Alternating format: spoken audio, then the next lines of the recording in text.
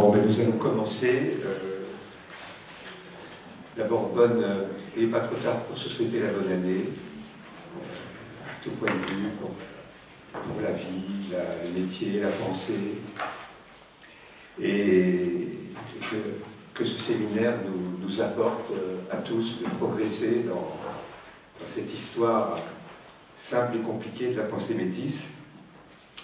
Et Laurent Denisot va commencer euh, à nous parler euh, d'une question qui, qui est assez importante dans ce domaine, penser l'humain en dehors des typologies. Donc ensuite, ce, qui était prévu, c'est que, que ce soit François qui intervienne, puis une pause, et puis ensuite euh, on continuera. Voilà, ok. Mais écoute, Laurent, tu la parole. Merci euh, Jean. Donc alors, euh, c'est notre, notre quatrième séance. La première séance, c'était un, retour sur les parcours de, François et de Jean, puis on les a entendus euh, l'un et l'autre parler de leur approche du, métissage. Euh, François était euh, dans l'affinement d'une pensée qu'il remastique depuis longtemps, hein. la pensée du métissage, qu'est-ce que c'est qu'une pensée métisse? Jean, dans l'intervention de Jean, on voyait le thérapeute évidemment, on voyait le thérapeute, thérapeute du métissage, euh, thérapeute qui nous parlait finalement de toutes les situations euh, métisses de son activité thérapeutique. Mon approche va être un petit peu différente de, celle-là, d'abord parce que je n'ai pas l'expérience de mes illustres, euh, oserais-je dire collègues. mon approche, elle est celle d'un ancien étudiant de, François, je, je le confesse, c'est pas toujours facile à porter. Euh, un ancien étudiant de François. Et euh, moi, j'aimerais surtout ce soir euh, vous faire part de ce qui m'a plu dans cette pensée métisse depuis que je la côtoie. C'est-à-dire que j'ai commencé, je pense, avec les cours d'ethnopsychiatrie en, en licence. Ce qui m'a plu dans cette pensée métisse et ce qu'elle m'inspire aujourd'hui dans mon métier d'anthropologue. Alors, euh, je ne sais pas si je suis fidèle euh, la pensée euh, métisse de François, peut-être que je la tords dans, mon sens, on en discutera, on en discutera après. J'aimerais aussi vous dire que mon intervention pourrait s'apparenter à une intervention de conviction. une intervention de conviction qui n'a pas forcément le souci de l'étayage théorique, le souci de, l'argumentation. Euh, voilà. Donc, euh, je vous ai fait passer un, document, puisque euh, je vais vous citer plusieurs auteurs, et il m'a semblé plus simple que vous ayez des citations sous les yeux, ça évite des prises de notes fébriles. donc, je vous ai mis ce document avec les différents auteurs cités. Et vous avez aussi le, cheminement de, mon intervention. Et donc je vais commencer par ce qui me plaît. Euh, dans euh, la pensée métisse, alors il y aura des choses que vous avez entendues de, la bouche de, François. Il y a pas mal d'étudiants de, Lyon 2 qui, je pense, aussi connaissent bien euh, ces questions-là. je suis parti d'un questionnement qui m'a semblé ressortir des dernières séances de ce séminaire, surtout de la dernière séance avec Jean. Euh, un questionnement, est-ce que la pensée métisse peut se résumer dans une conciliation des contraires Dans une tentative, pour être plus humble, dans une tentative de conciliation des contraires Je ne crois pas. Je ne crois pas parce que il me semble que la pensée métisse n'a pas forcément le souci de la réconciliation. Ça, ça peut être déjà un, point de, débat. Euh, François insiste beaucoup là-dessus. Euh, le métissage, lorsque l'on parle de métissage, on a quand même tout de suite euh, l'idée d'une métaphore biologique, hein, le métis. La pensée métisse doit toujours se défendre de cette métaphore biologique et je crois que c'est l'un des grands des, grandes difficultés euh, quand tu parles du, métissage. Le métissage, n'est pas la double appartenance, le métissage, n'est pas le syncrétisme.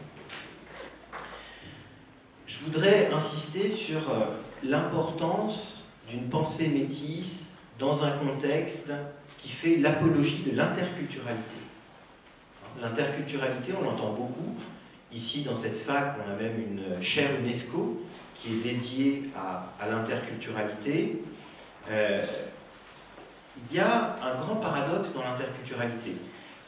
Les discours sur l'interculturalité perdent la logique du entre, paradoxalement. Hein? Elles perdent la logique du entre pour très vite se situer dans une approche qui laisse droit à la juxtaposition, qui laisse droit euh, à l'addition. Il y a un consensus actuel, et je suis sûr que tout le monde y souscrit dans cette salle, les différences sont enrichissantes. Les différences sont enrichissantes, mais on voit bien que dans une telle conception de l'interculturalité, hein, la diversité court le risque de devenir enrichissante quantitativement. C'est là l'addition des différences qui ferait la richesse. Or, je crois que ici, l'interculturalité court le risque de se confondre avec le multiculturalisme. François nous a parlé la dernière fois, je ne sais plus si c'était la dernière fois d'ailleurs, ou si c'était quand tu étais intervenu dans le cycle de conférences humains dans un monde complexe, de sa préférence pour la transculturalité. Euh, la transculturalité, on voit combien là il y a un réinvestissement du entre, mais un entre qui n'est pas le entre du milieu, que pourrait être celui de l'interculturalité. Ce n'est pas, à mon sens, un entre du milieu, mais c'est le entre qui traverse. Transculturalité, c'est le entre qui traverse.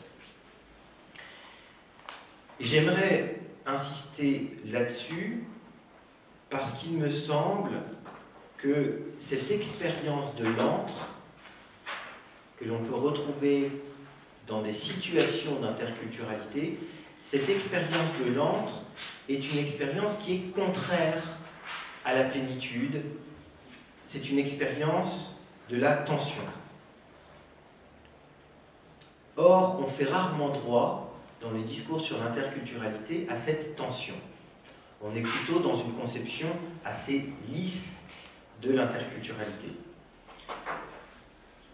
Si j'ai bien compris mes cours, à Lyon 2, une pensée du métissage, c'est une expérience de la désappropriation et de la reconnaissance de l'altérité en nous. Il y a euh, un jeu de mots qui m'a beaucoup plu dans, dans, les cours de François. C'est une expérience de l'étrangeté. Une expérience de l'étrangeté, non pas de l'étranger qui est en face, mais d'une relation d'étrangeté à nous-mêmes tu cites souvent Montaigne, il y a du moi dans l'autre et de l'autre en moi. Dans le métissage, contrairement à ce que l'on fait de l'interculturalité, il y a une reconnaissance de l'autre en nous et non pas seulement à côté de nous. Cette part d'étrangeté, c'est quelque chose qui me plaît beaucoup parce que cette part d'étrangeté est la condition de l'étonnement. Et l'étonnement, euh, je ne crois pas être le premier à le dire, l'étonnement, c'est le terreau de la pensée. Euh, l'étrangeté fait voler en éclat la logique de l'identité. La logique de l'identité comme étant finalement la recherche de l'identique. L'étrangeté, elle fait naître un décalage. En faisant naître un décalage, elle fait naître une dynamique intérieure qui est celle de la pensée et non de l'analyse.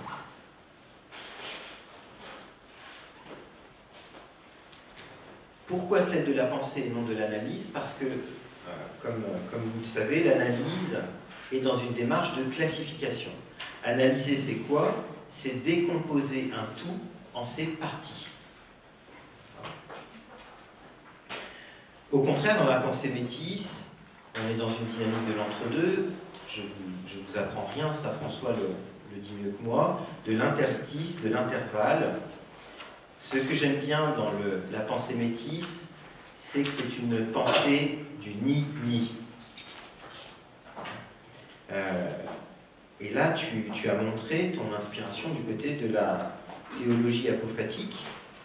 Hein, cette théologie apophatique, autrement appelée théologie négative, qui s'attache non pas à dire ce que Dieu est, puisqu'il est par essence indéfinissable, c'est de, la théologie, hein, ça peut être transposé du côté des sciences humaines, non pas dire ce que Dieu est parce qu'il est par essence indéfinissable, au-delà de tout ce que l'on peut en dire, l'expérience, euh, comment dire, euh, le sommet de l'expérience apophatique, c'est le silence.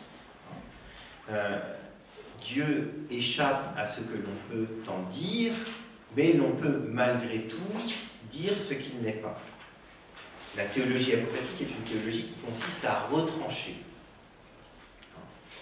Toi, tu t'empares de, de, ce, de cette modalité de pensée dans un registre anthropologique en montrant que la pensée métisse, c'est ni l'homogène ni l'hétérogène, ni la fusion ni la séparation, ni la conjonction ni la disjonction. Ce qui en fait évidemment une pensée oscillatoire. Je crois que là, il y a une grande différence avec la pensée classificatoire, c'est que ce qu'il s'agit de penser, ce ne sont plus des termes. Ce qu'il s'agit de penser, c'est un processus. C'est précisément la transformation. La transformation, c'est ce qui se forme dans l'antre, ce, qui se forme à travers, dans l'expérience oui, je dirais ça, dans l'expérience d'une transversalité. Donc on est à l'opposé d'une pensée qui découpe, d'une pensée qui tranche, d'une pensée qui classe. On est dans une pensée des nuances. Alors des nuances, toi tu l'utilises dans un sens chromatique, puisque je m'en rappelle de ton affection pour le clair-obscur. Étant dans une pensée des nuances, étant dans une pensée qui se démarque de la pensée classificatoire, on n'est pas dans une pensée du tout. On n'est pas dans une pensée du tout, on n'est pas dans une pensée du système. J'aimerais bien rapprocher ton souci épistémologique de la réflexion de Jean Kelevitch euh, à propos du presque rien. Et je dirais mais prends-le pas mal, la pensée métisse est une pensée du presque. Euh, je vous cite Jean Kelevitch, je vous l'ai marqué euh, sur la, feuille que je vous ai donnée, qui fait le, le procès de la raison résonante. Il y a quelque chose qui est pour ainsi dire la mauvaise conscience de la bonne conscience rationaliste et le scrupule ultime des esprits forts quelque chose qui proteste et remurmure en nous contre le succès des entreprises réductionnistes. Ce quelque chose est comparable, sinon au reproche intérieur de la raison devant l'évidence bafouée, du moins au remords du fort intime, c'est-à-dire au malaise d'une conscience insatisfaite devant une vérité incomplète. J'aimerais croire que la pensée métisse laisse place à cette insatisfaction et à cette incomplétude. J'aimerais croire que dans la pensée métisse, il y a quelque chose qui résiste, en fait, à un fantasme de la pensée analytique, qui est le fantasme de la pureté. Euh, quand on est dans l'incomplétude, Quand on est dans une pensée qui laisse droit à l'incomplétude, c'est-à-dire qu'il ne voit pas l'incomplétude comme un problème à résoudre, qu'il ne voit pas l'incomplétude comme une partie qui serait à combler pour parvenir à la totalité, eh bien, lorsque l'on se confronte à l'incomplétude, il me semble que l'on peut trouver quelque chose de plus fin, quelque chose de plus proche de l'expérience humaine et de toute pensée sur l'expérience humaine. À l'inverse de l'incomplétude, il y a la complétude. À l'inverse de l'incomplétude, il y a la pensée du pur. Je dirais pas, c'est pas un jeu de symétrie. Ne, concluez pas, par là que la pensée métisse est une pensée de l'impur. C'est une pensée qui se démarque de cette rhétorique du pur et de l'impur. La pensée, euh, métisse, est une pensée de l'antirégularité et de l'antireprésentativité. En ce sens, mais là je, je, pose une question, il me semble que c'est une pensée opposée au culturalisme. L'inverse du métissage, c'est quoi? C'est la rhétorique de l'authentique. La rhétorique de l'authentique qui est, je dirais, par essence, une pensée classificatoire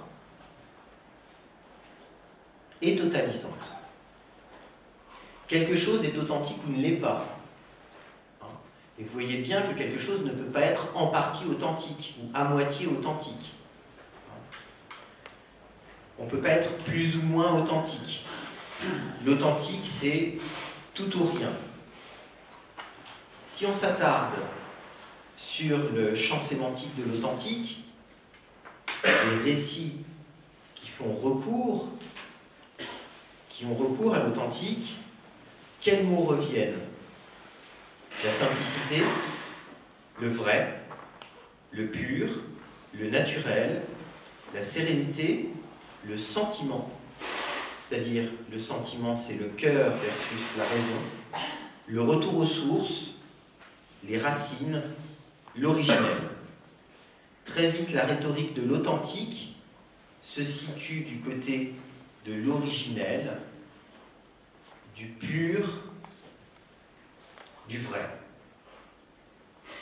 C'est pour ça que la rhétorique de l'authentique a souvent recours à la tradition.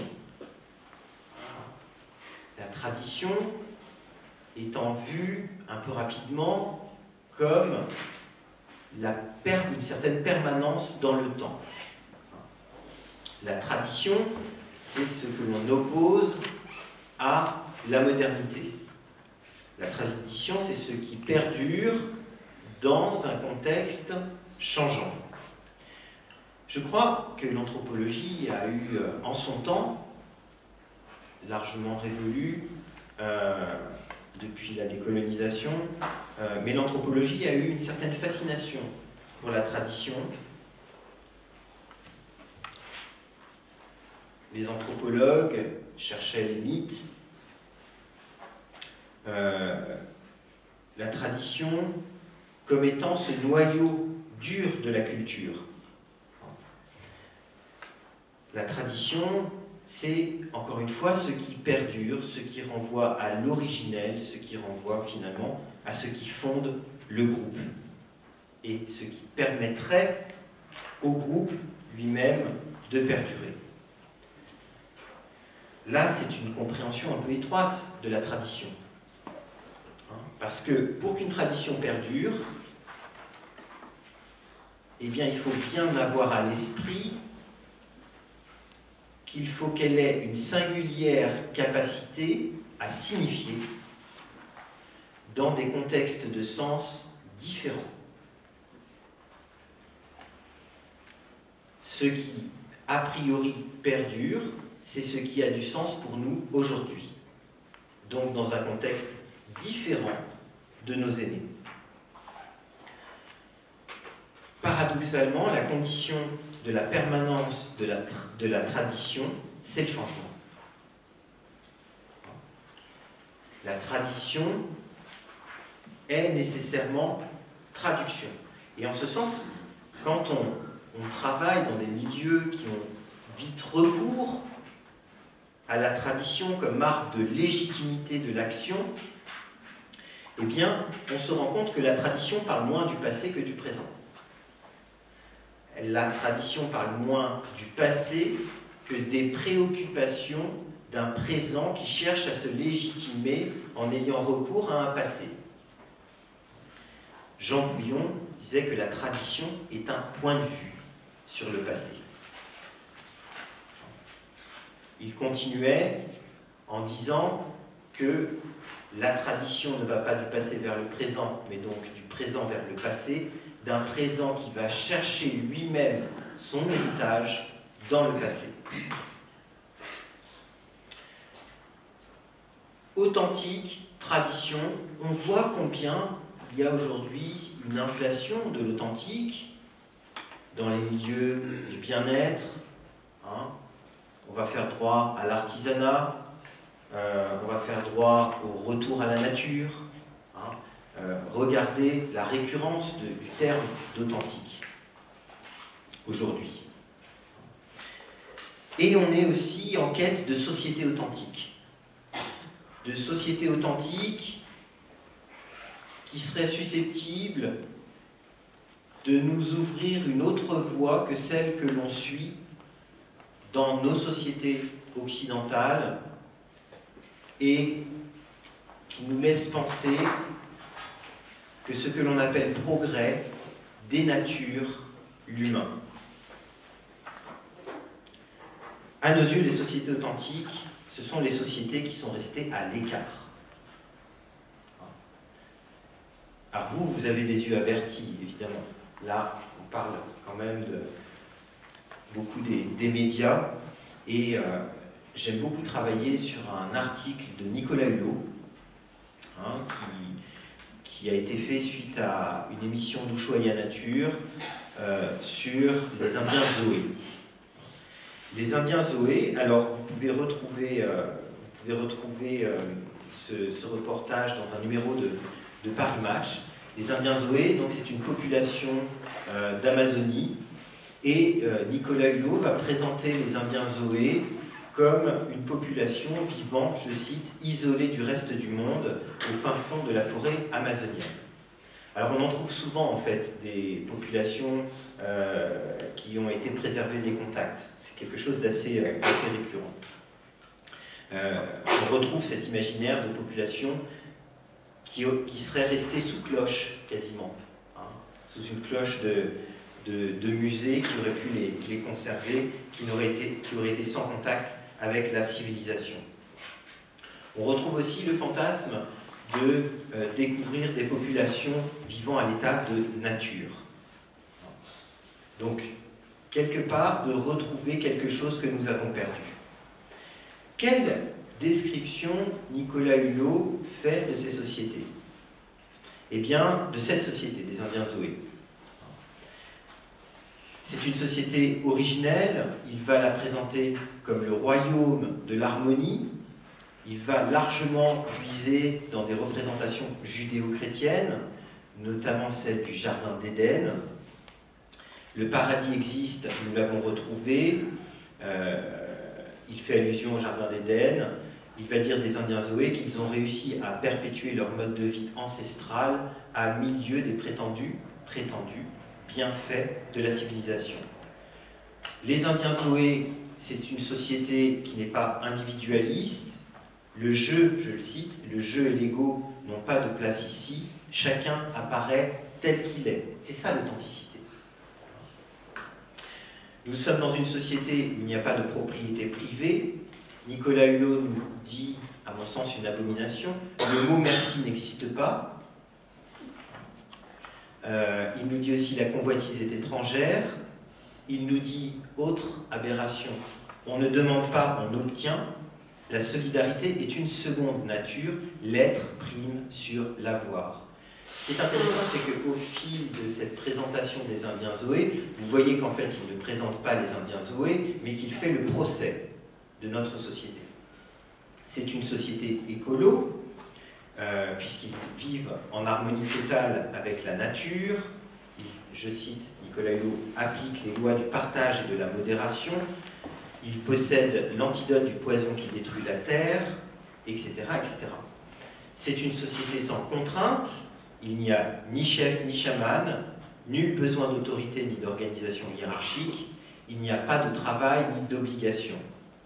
C'est une société sereine où l'on apprend que les conflits sont réglés avec des chatouilles. Les Zoé ont la beauté de ceux qui vivent sans angoisse. Vous voyez comment cela fait écho à une société qui est friande d'antidépresseurs, d'anxiolytiques, prescrits par nos amis les psychiatres. C'est une société qui a un message spirituel à nous délivrer. Nicolas Hulot va la présenter comme une part essentielle et authentique d'humanité, comme s'ils en étaient l'unité de mesure, la référence. Et il termine son article à me demander si cette origine de l'humanité n'en est pas une forme d'aboutissement. Voyez combien là, la rhétorique de l'authentique, avec la rhétorique de l'authentique, on est dans une conception complètement ahistorique hein, euh, d'un groupe social. Ce qui est intéressant, c'est le sempiternel retour à l'originel. L'originel qui dit le vrai. S'il y a permanence dans le temps, ça dit le vrai. Hein. Et cette invitation à revenir à cette innocence originelle. Cette innocence originelle qui est celle du primitif, hein, comme on a eu souvent tendance à nommer ceux qui étaient très différents de nous. Une innocence originelle qui est celle du primitif, qui est aussi celle de l'enfant. Les sociétés dites pendant longtemps primitives ont été pendant longtemps vues comme des sociétés enfants. L'enfant qui n'est pas encore dans l'artificialité du monde des adultes. Si on est dans une quête des racines, si on est dans une quête de l'originel, eh bien, vous voyez que l'origine du groupe vient s'appuyer sur l'origine de soi, les premiers âges de la vie. Et vous voyez combien là ressortent les imaginaires de l'enfance comme stade de l'innocence, comme stade de la pureté. Ça, c'est mis à mal par la psychologie. Le primitif comme l'enfant, le civilisé comme l'adulte. Sauf que aujourd'hui, on renverse des rapports hiérarchiques d'autrefois que l'on retrouvait dans l'évolutionnisme culturel. La société enfant, c'est celle qui a préservé la simplicité, la spontanéité de l'enfance. C'est quelque chose qui est très repris dans la littérature du développement personnel. Et je vous cite Paulo Coelho, hein, l'alchimiste, je sais oui si je vous l'ai mis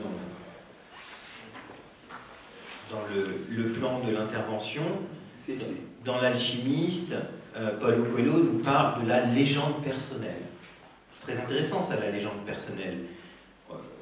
On peut la comprendre comme une forme de destin particulier dont l'accomplissement dépendrait de notre capacité à retrouver nos envies profondes, à retrouver nos envies profondes qui sont en fait les rêves de notre enfance. Si vous écoutez votre cœur, vous savez précisément ce que vous avez à faire sur Terre. Enfants, nous avons tous su alors, je, enfin, petite parenthèse, je crois que le génie de l'enfant, c'est justement de ne pas savoir. Enfant, nous avons tous su, mais parce que nous avons peur d'être désappointés, peur de ne pas réussir à réaliser notre rêve, nous n'écoutons plus notre cœur. Ceci dit, il est normal de nous éloigner à un moment ou à un autre de notre légende personnelle. Ce n'est pas grave, car à plusieurs reprises, la vie nous donne la possibilité de recoller à cette trajectoire idéale. Là, on retrouve toute la sémantique de l'épanouissement personnel.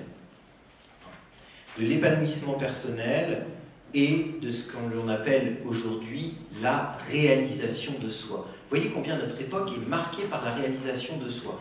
Quand on va dans une librairie, euh, eh bien, euh, le rayon le plus important, c'est pas le rayon anthropologie, c'est pas le rayon euh, psychologie, c'est pas le rayon sciences humaines, c'est le rayon développement personnel.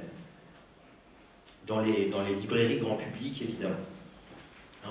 La réalisation de soi, qu'est-ce que c'est? C'est très étonnant cette idée de la réalisation de soi, comme quoi on ne serait pas réalisé. Comme quoi on ne serait pas parvenu à cet état de complétude à cet état de plénitude qui est aussi un état de complétude. Chacun aurait des aptitudes enfouies, un moi véritable, un moi authentique, ce que nous sommes vraiment, mais qui serait caché au plus profond de nous et dont on aurait à travailler pour le laisser s'exprimer. Comment travailler pour laisser s'exprimer ce moi génial qui sommeille en chacun de nous? Eh bien, il faut faire tomber les inhibitions. Les inhibitions, c'est-à-dire faire tomber le regard d'autrui. J'ai appris, euh, il y a peu, en me baladant dans la rue, je suis tombé sur une plaque de quelqu'un qui se présentait comme coach de vie. Aujourd'hui, nous avons des coachs de vie. Les coachs de vie sont ceux qui vont réaliser vos potentialités, vos potentialités inhibées par le regard des autres. Il faut se défaire du regard des autres. Alors on voit très vite combien ce moi authentique est un moi fantasmatique. Hein. On n'est pas du tout dans l'introspection, on n'est pas du tout dans ce moi plus ou moins merdeux que peut nous révéler une psychanalyse. Hein on est dans un moi qui vise à un état supérieur d'être. Et les coachings de, euh, les, le coaching de vie, je ne sais pas comment on dit, les, les coachers les, coachs, les coachs de vie. Les coachs de vie, vous voyez, euh, vous voyez, vous voyez mon bilinguisme. Euh, les coachs de vie, eh bien, ils font fureur dans les entreprises. Ils font fureur dans les entreprises.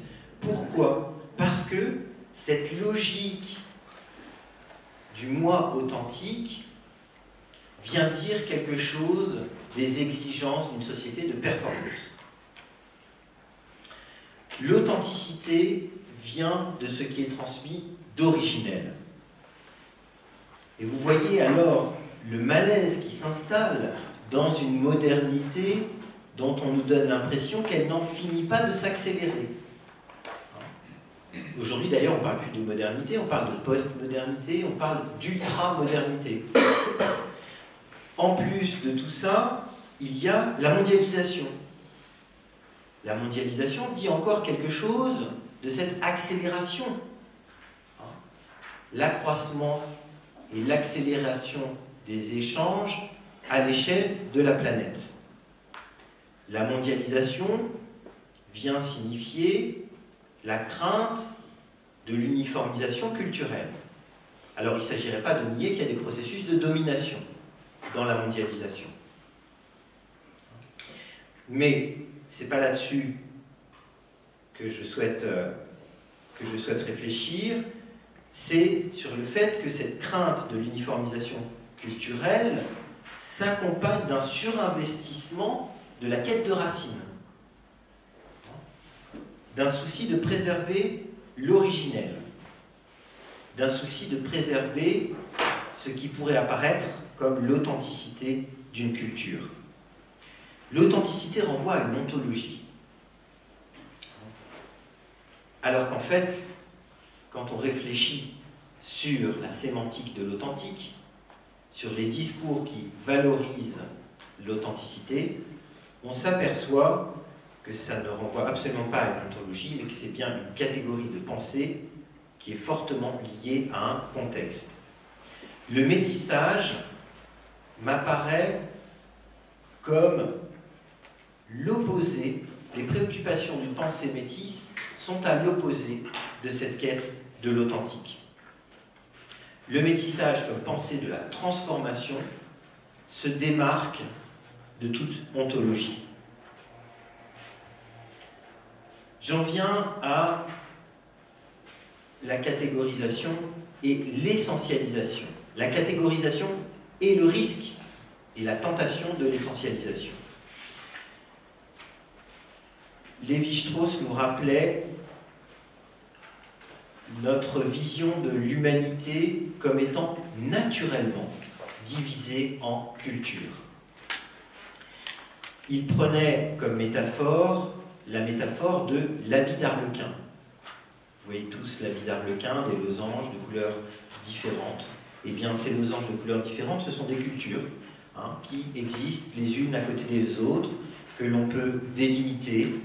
Euh, et euh, l'humanité, finalement, serait cet ensemble de cultures. Il n'y a pas longtemps à l'université, François était intervenu dans ce cycle de conférences dont je faisais allusion tout à l'heure, Humain dans un monde complexe. Il s'agissait donc de penser la complexité de notre monde. Déjà, on peut se poser la question est-ce qu'il y a une complexité spécifique à notre époque euh, Et la complexité de notre monde était pensée notamment selon la métaphore de la mosaïque. Voyez encore combien l'on retrouve l'habit d'Arlequin de Lévi-Strauss hein, dans la métaphore de la mosaïque. Le monde, l'humanité serait naturellement divisé en cultures, la, la culture étant quelque chose de stable et d'homogène dans le temps. L'imaginaire de la mondialisation comme crainte d'une uniformisation culturelle dit encore quelque chose de ce monde naturellement divisé il est important de se rendre compte que cette division est une construction. Cette catégorisation de l'humanité en fonction de culture naît d'une préoccupation de comprendre le monde, d'une exigence de classification hein, pour une approche scientifique du monde. Il faut savoir aussi que la catégorisation en culture, voire en ethnie, a largement servi l'administration coloniale. Hein, vous savez combien on a créé d'ethnies pour euh, asseoir l'autorité coloniale. C'est le vieil adage euh, que nous rappelle euh, Georges Ballandier, diviser pour mieux régner. On a la vision d'une culture comme étant une entité abstraite, transcendante par rapport aux rapports et aux acteurs sociaux.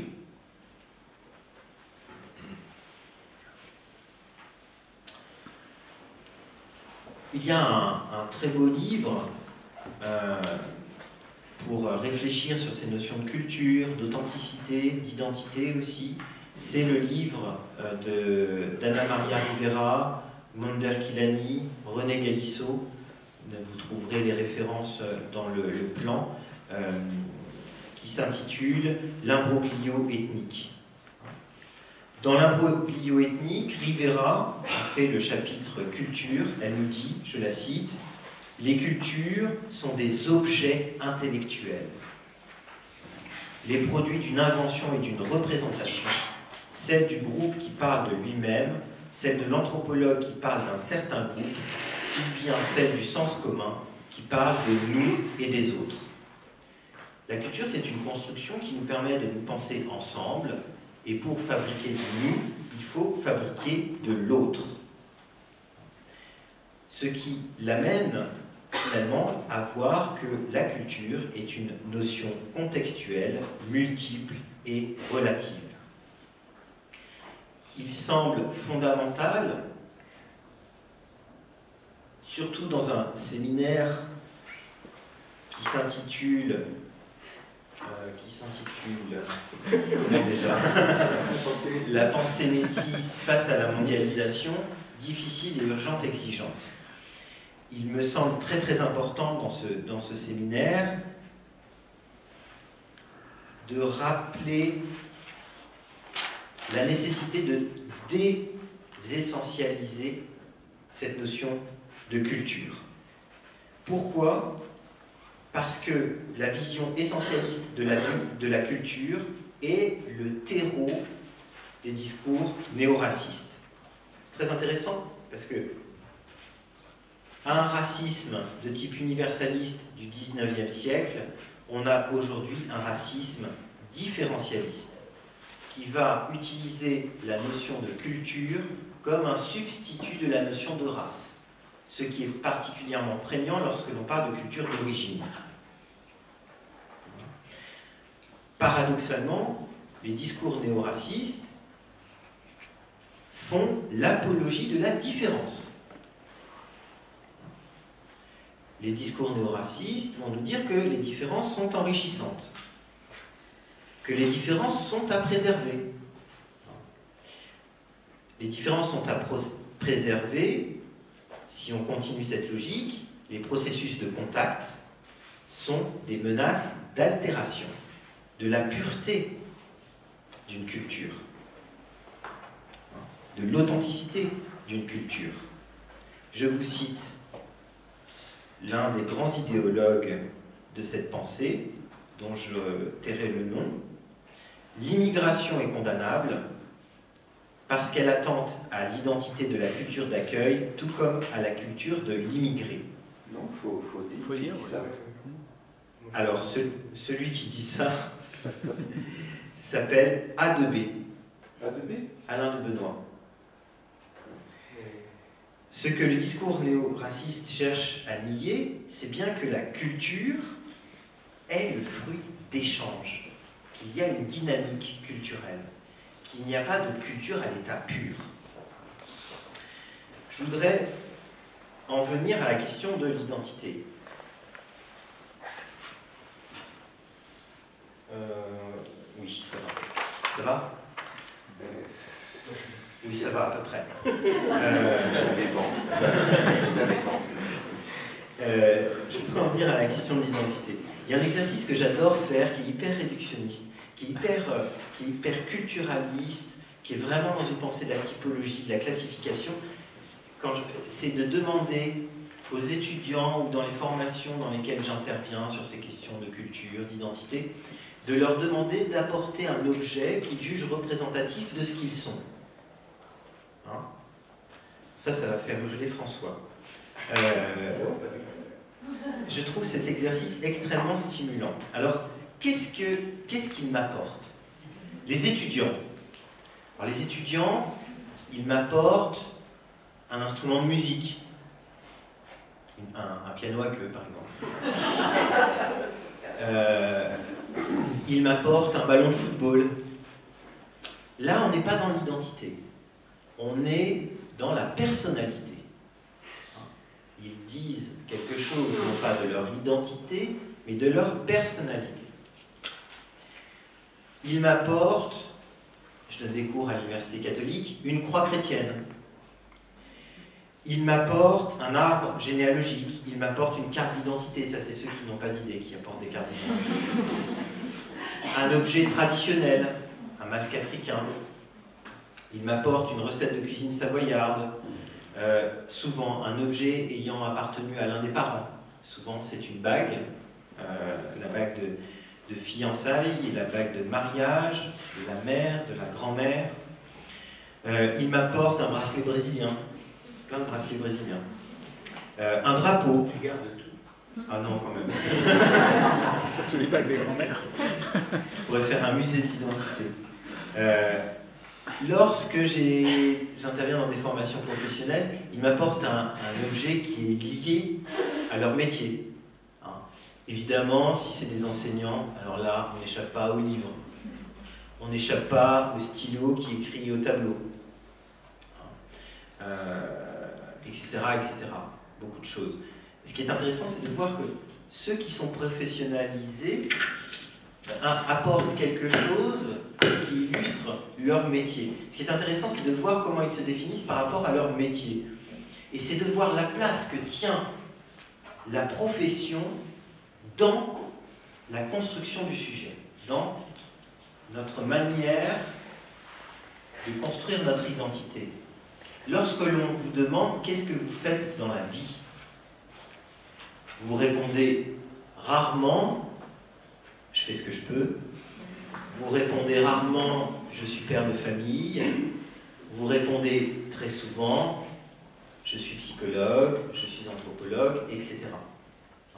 Intéressant de voir combien on surinvestit le monde professionnel comme lieu d'identité, qui fait de l'identité. J'ai fait le même exercice avec des étudiants euh, issus de l'immigration, issus aussi de milieux défavorisés, des banlieues parisiennes. Ils m'apportaient la main de la Fatma, ils m'apportaient beaucoup d'objets euh, religieux. Euh, et je leur demande toujours de parler autour de l'objet qu'ils apportent. Ce qui m'intéresse, pas l'objet, c'est le récit. je leur demande de parler, et ce qui m'avait très énormément surpris, c'est le fait que pour ces étudiants, ils apportaient un objet dont ils ne connaissaient rien. Et ils me parlaient d'une culture dans laquelle, la, culture d'un pays dans lequel ils n'étaient pour la plupart jamais allés. Et s'ils y vont, ils y sont reçus comme des étrangers. Mais malgré tout, ils apportent, je leur dis, apportez quelque chose que vous êtes, que vous jugez représentatif de ce que vous êtes, et ils apportent ce type d'objet.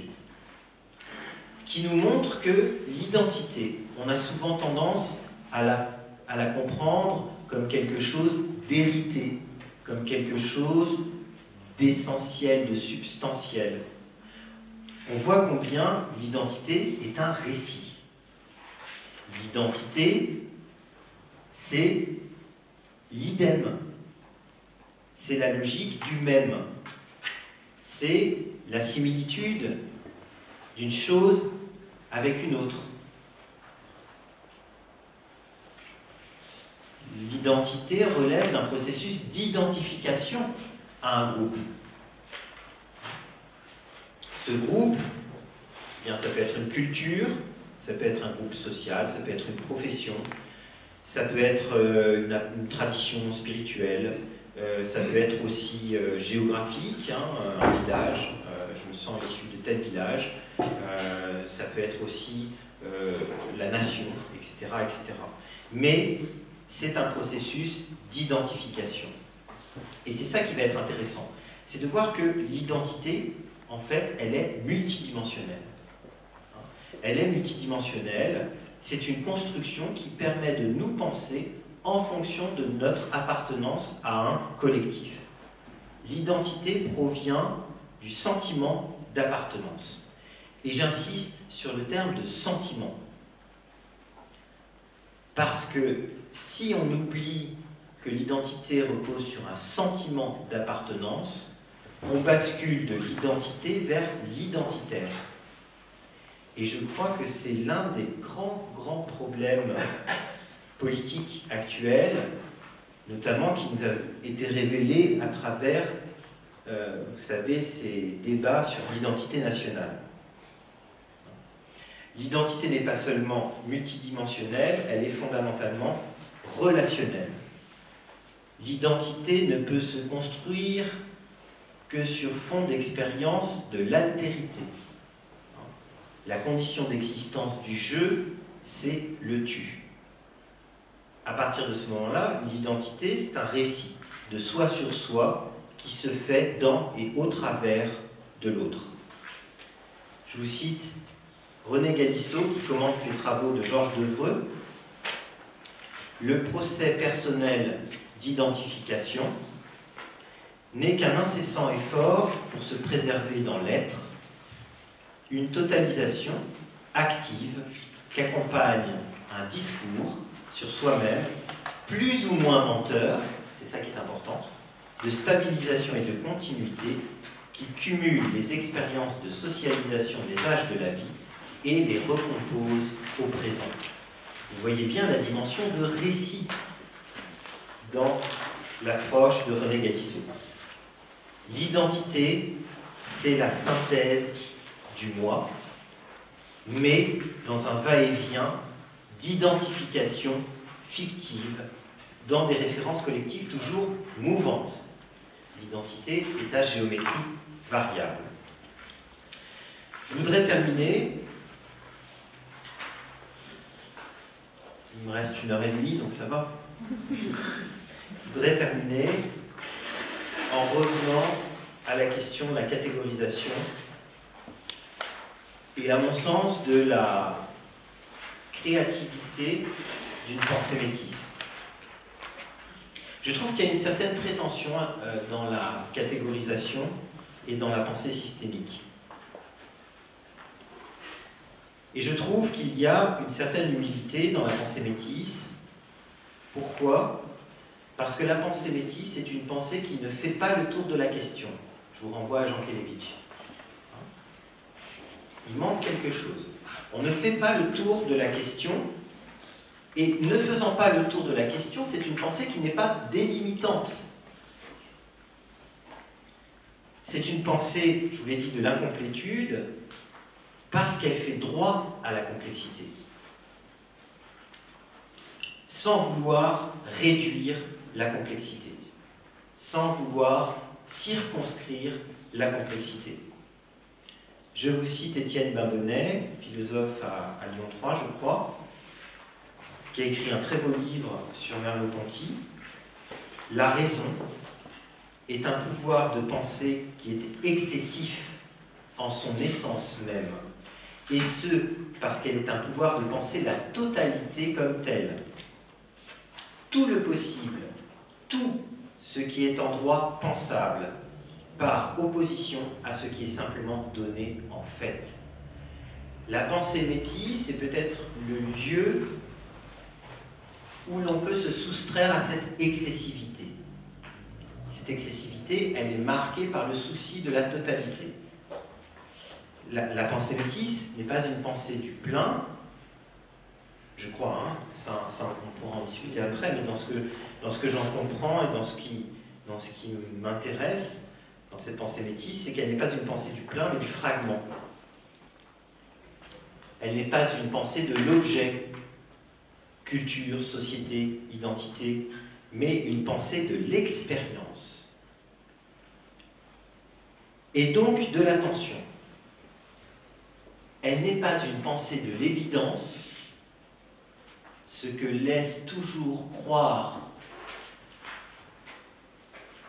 la tentation systémique, elle n'est pas une pensée de l'évidence, mais du paradoxe. Pour moi, l'évidence est la mort de la pensée. Euh, il n'y a pas que pour moi, je pense. Euh, il y a au moins pour Charles Péguy. Et pour toi, ça, c'est évident Oui. Mais je pourrais jouer Socrate, hein. je n'ai qu'une certitude, c'est que je ne sais pas. Euh, Charles Péguy disait réfléchir, c'est commencer à capituler. Généralement, c'est mal, euh, mal vécu ça. Réfléchir, c'est commencer à capituler. Parce que réfléchir, c'est bien, capituler, c'est mal. Réfléchir, c'est dépasser l'évidence. C'est dépasser ce qui va de soi. Réfléchir, pour moi, c'est s'ouvrir à la nuance et la typologie est le contraire de la nuance. C'est pour ça que la pensée apophatique est très intéressante, parce que c'est un lieu de résistance à cette pensée systémique, à cette pensée de la définition, à cette pensée de la délimitation. Je vous ai marqué, je vais finir sur des citations que j'aime bien. Euh, je vous ai cité John Keats, grand poète anglais. John Keats pratiquait sans relâche ce qu'il appelait sa capacité négative, qui est dans la lignée directe de la pensée apophatique, à savoir cette qualité de tant d'importance en littérature et que Shakespeare possédait dans de telles proportions, je veux dire la faculté chez un homme de savoir exister au sein des incertitudes, des mystères, des doutes, sans vouloir d'irritante façon rejoindre à tout prix le terrain des faits et de la raison. Pour le plaisir de la littérature, je vous ai mis une citation de Mallarmé. La récompense est d'être précisément sur le plan supérieur un raté, c'est-à-dire un homme qui, dédaignant l'avantage immédiat et facile, s'est mesuré d'emblée avec ce qui nous domine et nous dépasse de toutes parts.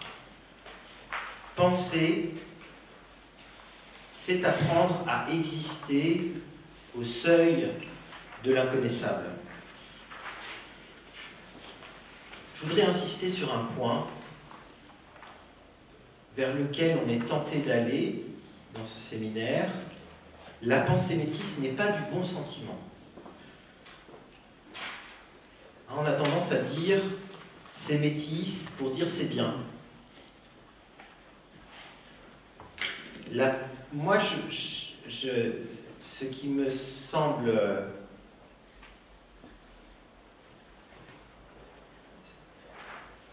comment dire Ce qui m'intéresse davantage, c'est ce que la pensée métisse, ce que la pensée métisse porte de quelque chose d'inconfortable, de quelque chose d'inquiétant. Parce que ce qui est mêlé est inquiétant. En ce que ce qui est mêlé se soustrait à une pensée du pur. La pensée systémique rassure. La pensée métisse inquiète. La pensée métisse, c'est une pensée subversive. C'est pour ça qu'elle inquiète. Elle est subversive par une pensée de la catégorie qui marque très fortement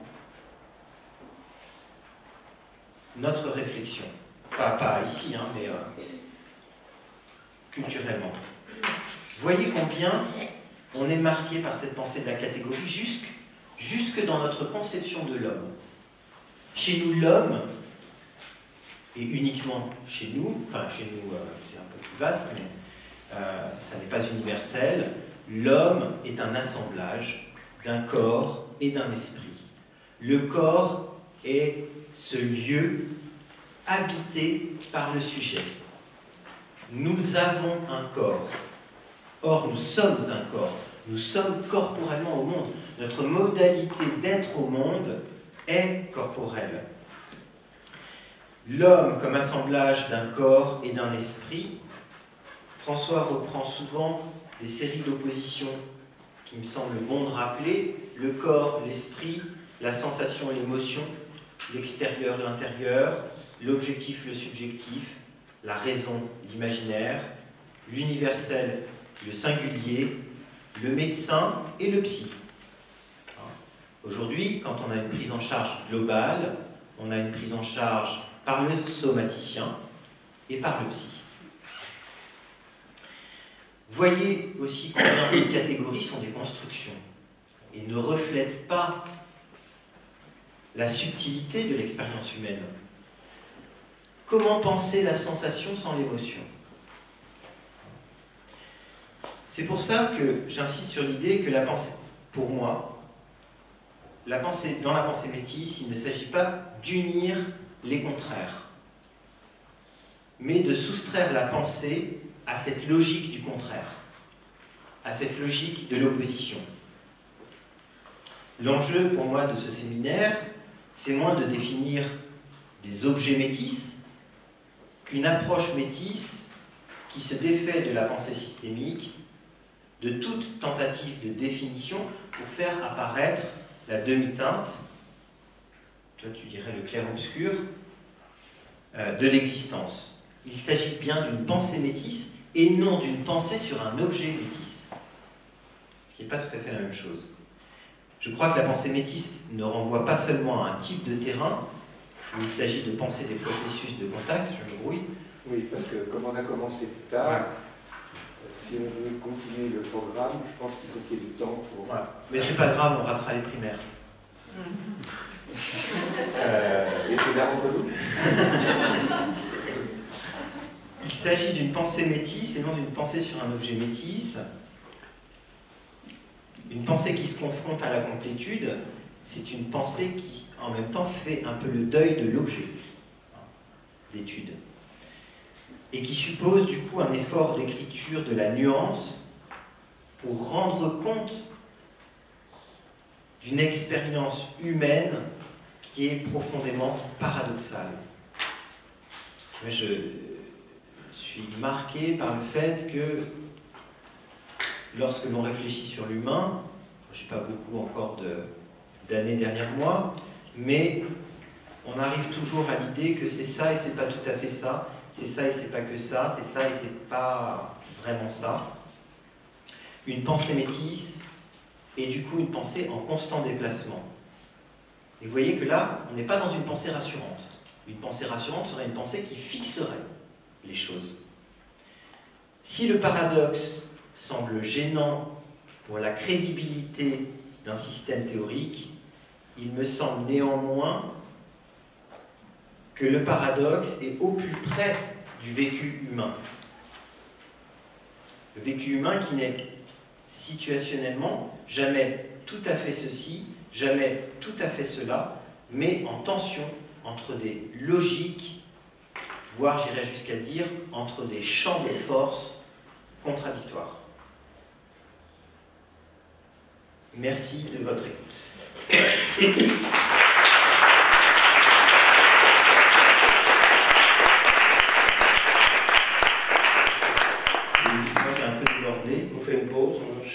Non, non, non. Euh, bon, moi, je ne vais rien dire maintenant parce que je, le dirai après la pause. Euh, j'ai eu un. j'ai eu, à la fois beaucoup d'intérêt et un certain énervement. Et je voudrais euh, laisser la parole maintenant donc, à, François Laplantine, comme c'était prévu entre nous. tu, tu, donnes tes. Un quart d'heure, 10 minutes, un quart d'heure. Un quart d'heure, Alors. Euh, nous avons tous été sensibles à ta carte et, à ton sens de la complexité qui nous permet de nous orienter vers euh, un horizon de pensée métisse.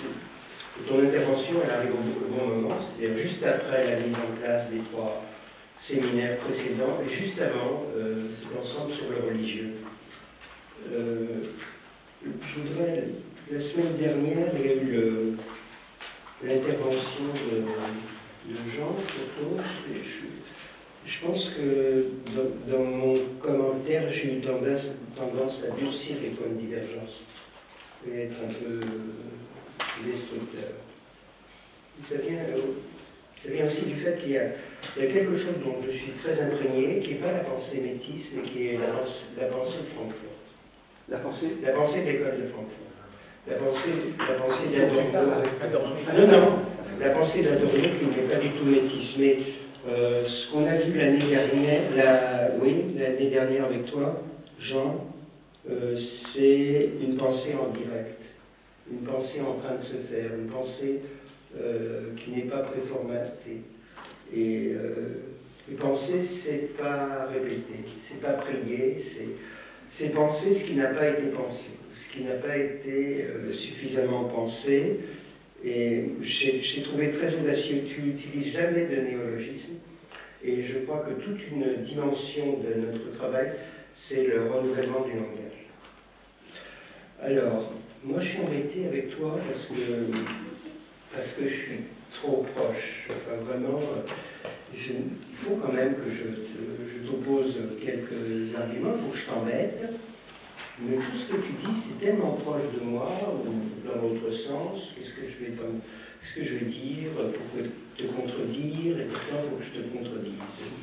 Alors d'abord, tu as commencé avec les termes d'interculturalité, multiculturalisme, et tu as dit euh, transculturalité c'est mieux, euh, et tu as dit parce qu'il y a l'antre qui traverse, mais il y a surtout l'antre qui transforme, et tu l'as dit après. Il y a l'antre qui transforme les uns et les autres. Bien. Après, tu dis, une pensée métisse, c'est pas une pensée du tout, pas une pensée du système, en reprenant ce que dit.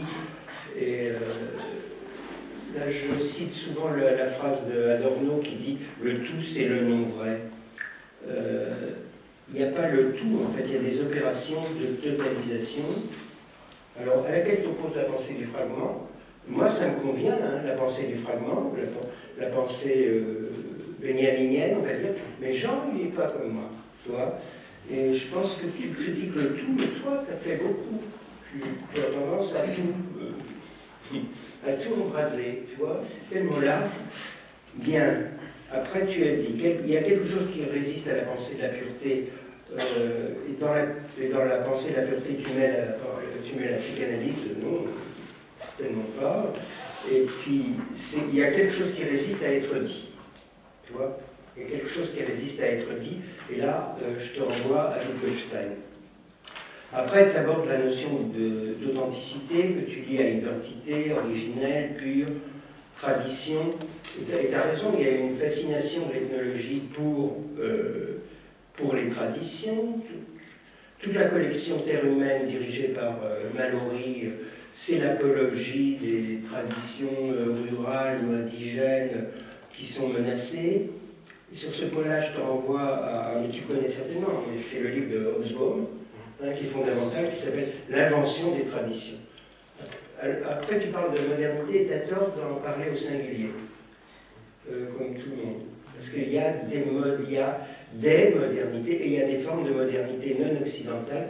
J'en connais cinq, j'en connais quatre il y a une modernité chinoise dans les années 20, il y a une modernité japonaise au début de l'ère Meiji, il y a une modernité brésilienne avec la semaine d'art moderne de São Paulo, et il y a une modernité turque, tu vois, qui ne sont pas occidentales.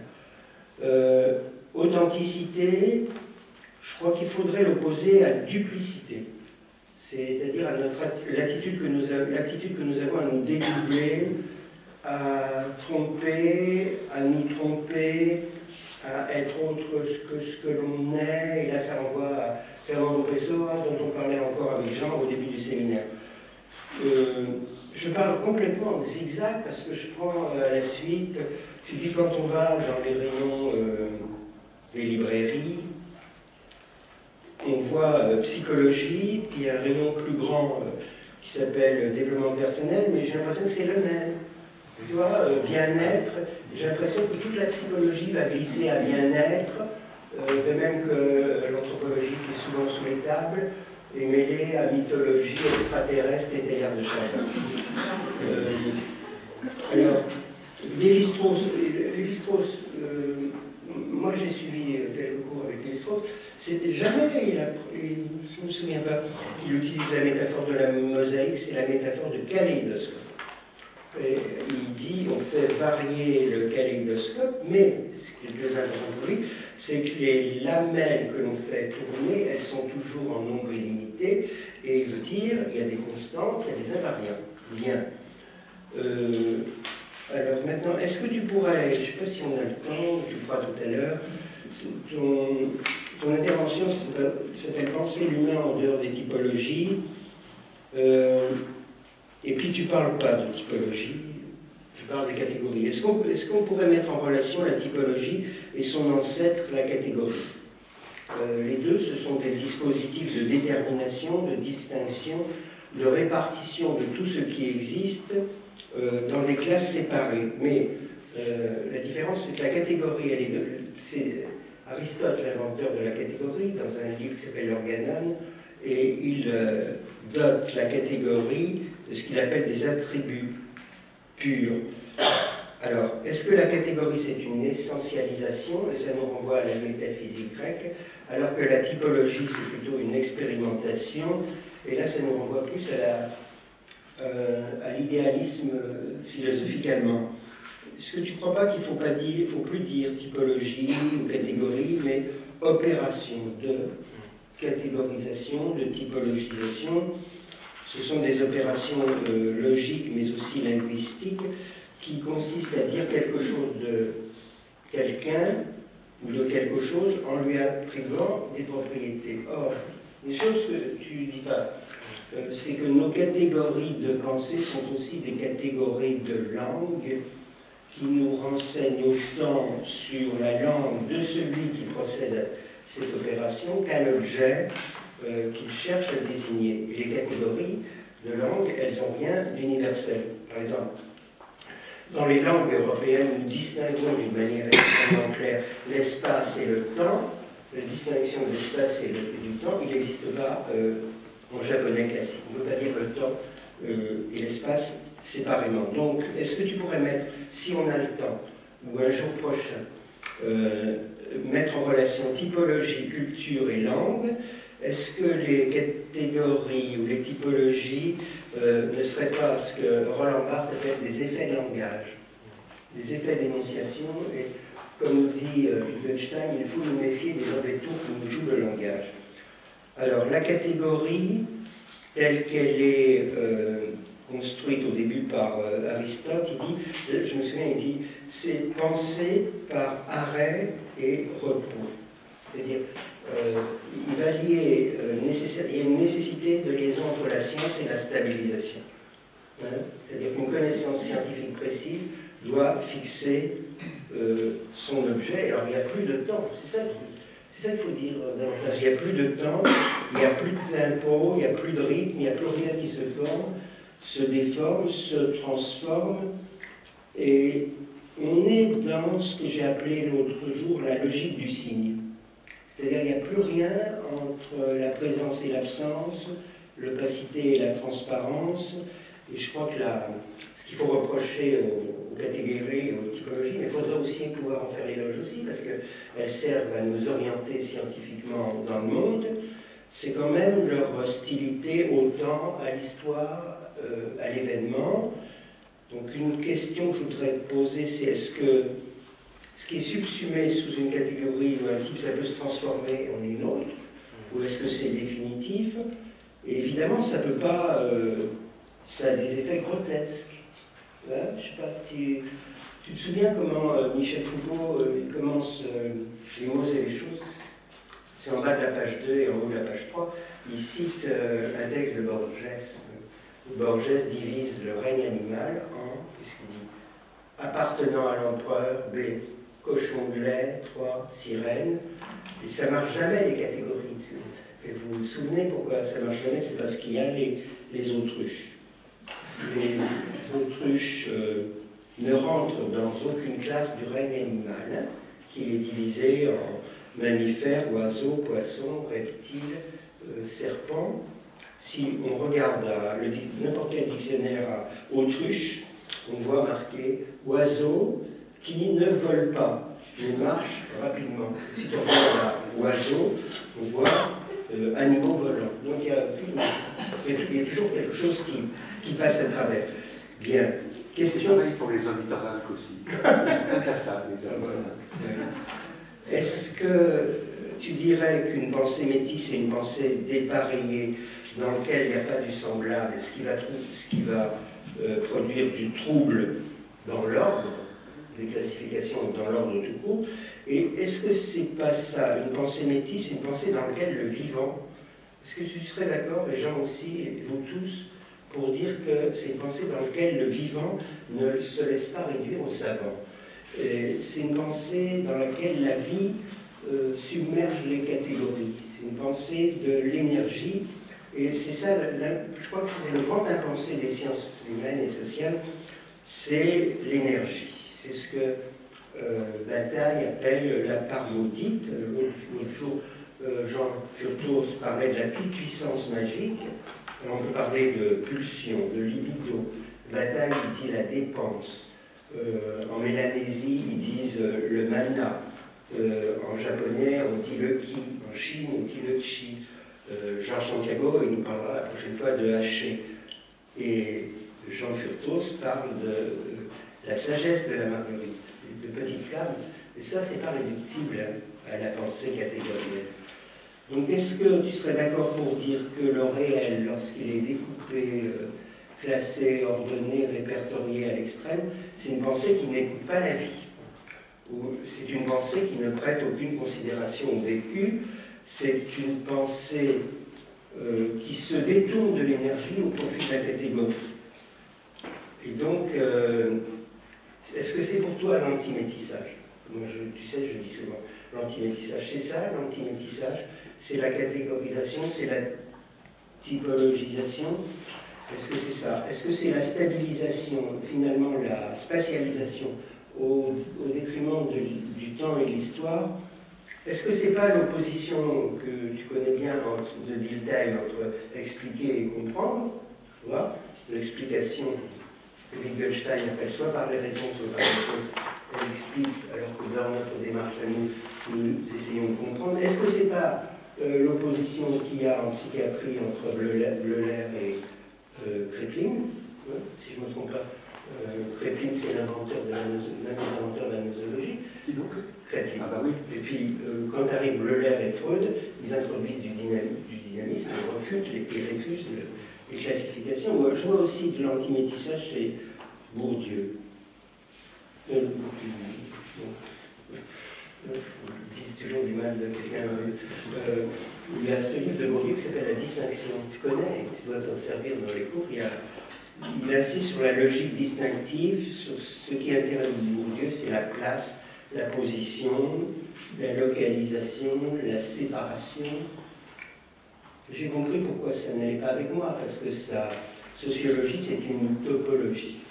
Et il y a euh, un langage univoque qui est dépourvu d'ambiguïté, et dans ces conditions, euh, vous savez ce qu'il appelle l'habitus, hein, c'est toujours cité, euh, il est coercitif. Alors il dit, Bourdieu, euh, les Béarnais sont, sont, contraints à parler avec l'accent béarnais.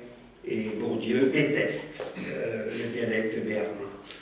tu vois, à l'inverse, l'anti-Bourdieu, c'est Proust.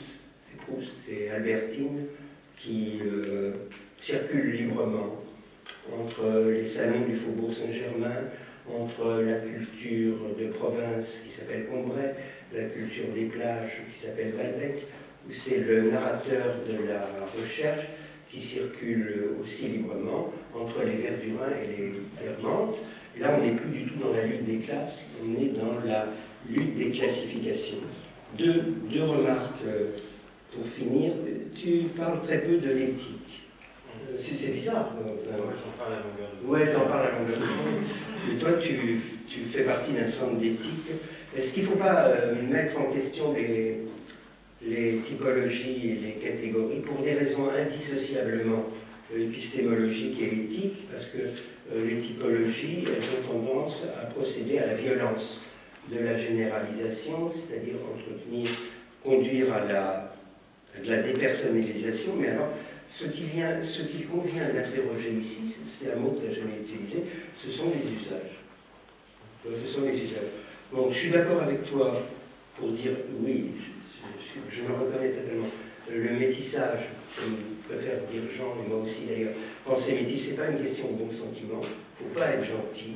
Euh, il y a vraiment de l'inimitié, il y a vraiment de euh, l'adversité. J'aime bien ce que tu dis, c'est inquiétant, c'est intranquille il faudrait faire attention quand même, Laurent. Euh, S'il y a quelque chose qui m'a gêné, c'est un peu ça. C'est une critique que je peux faire moi. Euh, parce que tu dis ce qui me plaît dans le métissage, dans la pensée. La médecine, on a tendance un peu, peut-être moi aussi, mais toi plus que moi. la, la, pensée métisse, c'est tout ce qu'on aime, c'est-à-dire c'est nous-mêmes qui sommes infiniment subtils, euh, alors que les autres sont un peu comme.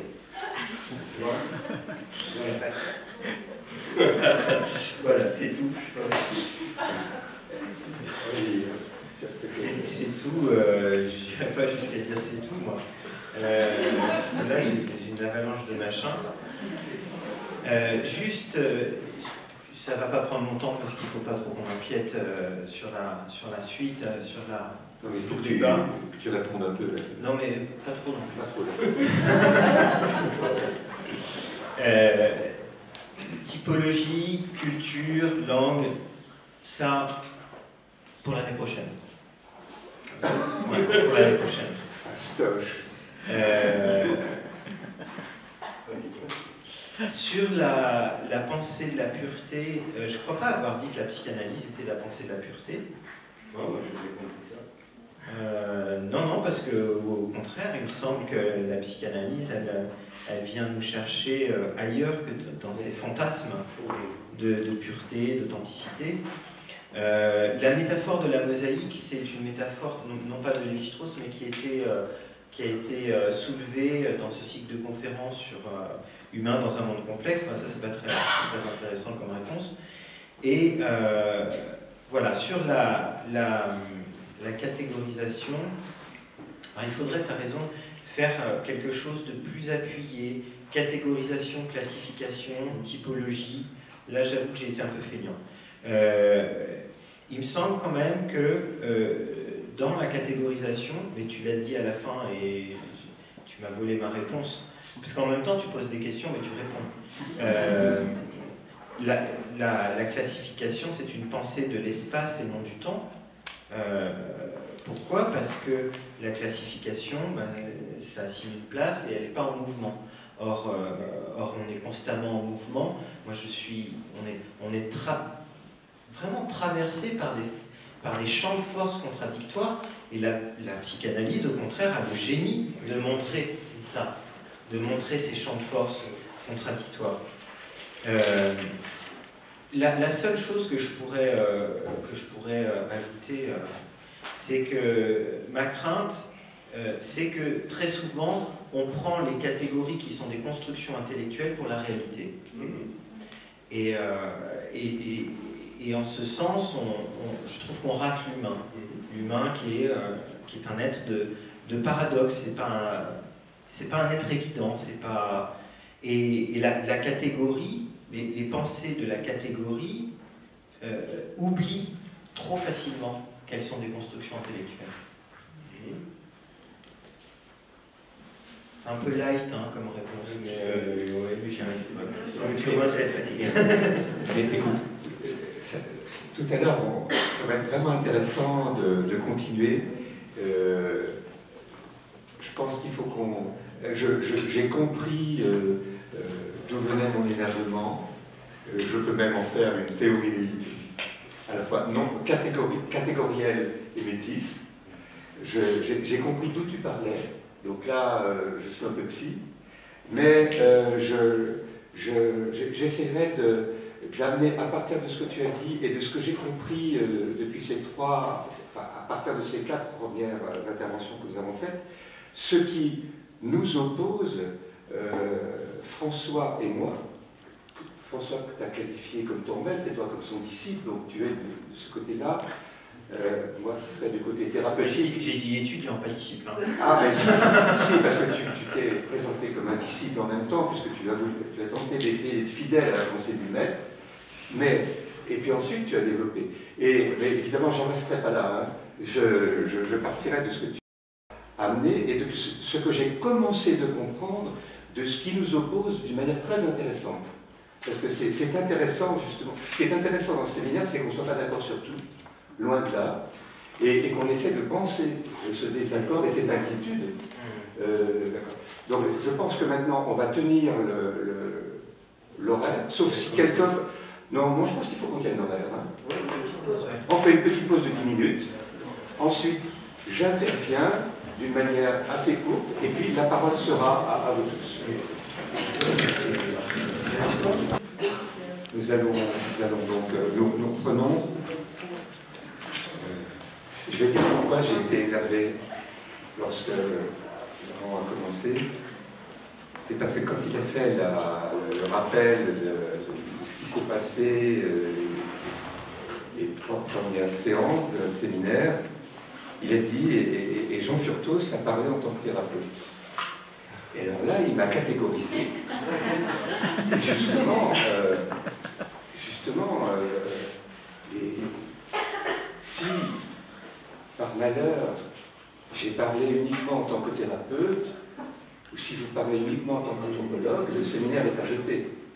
Par contre, si on parle à partir de notre expérience, dans le cadre de la thérapie, et d'humain étant thérapeute ou d'humain étant anthropologue, ça marche.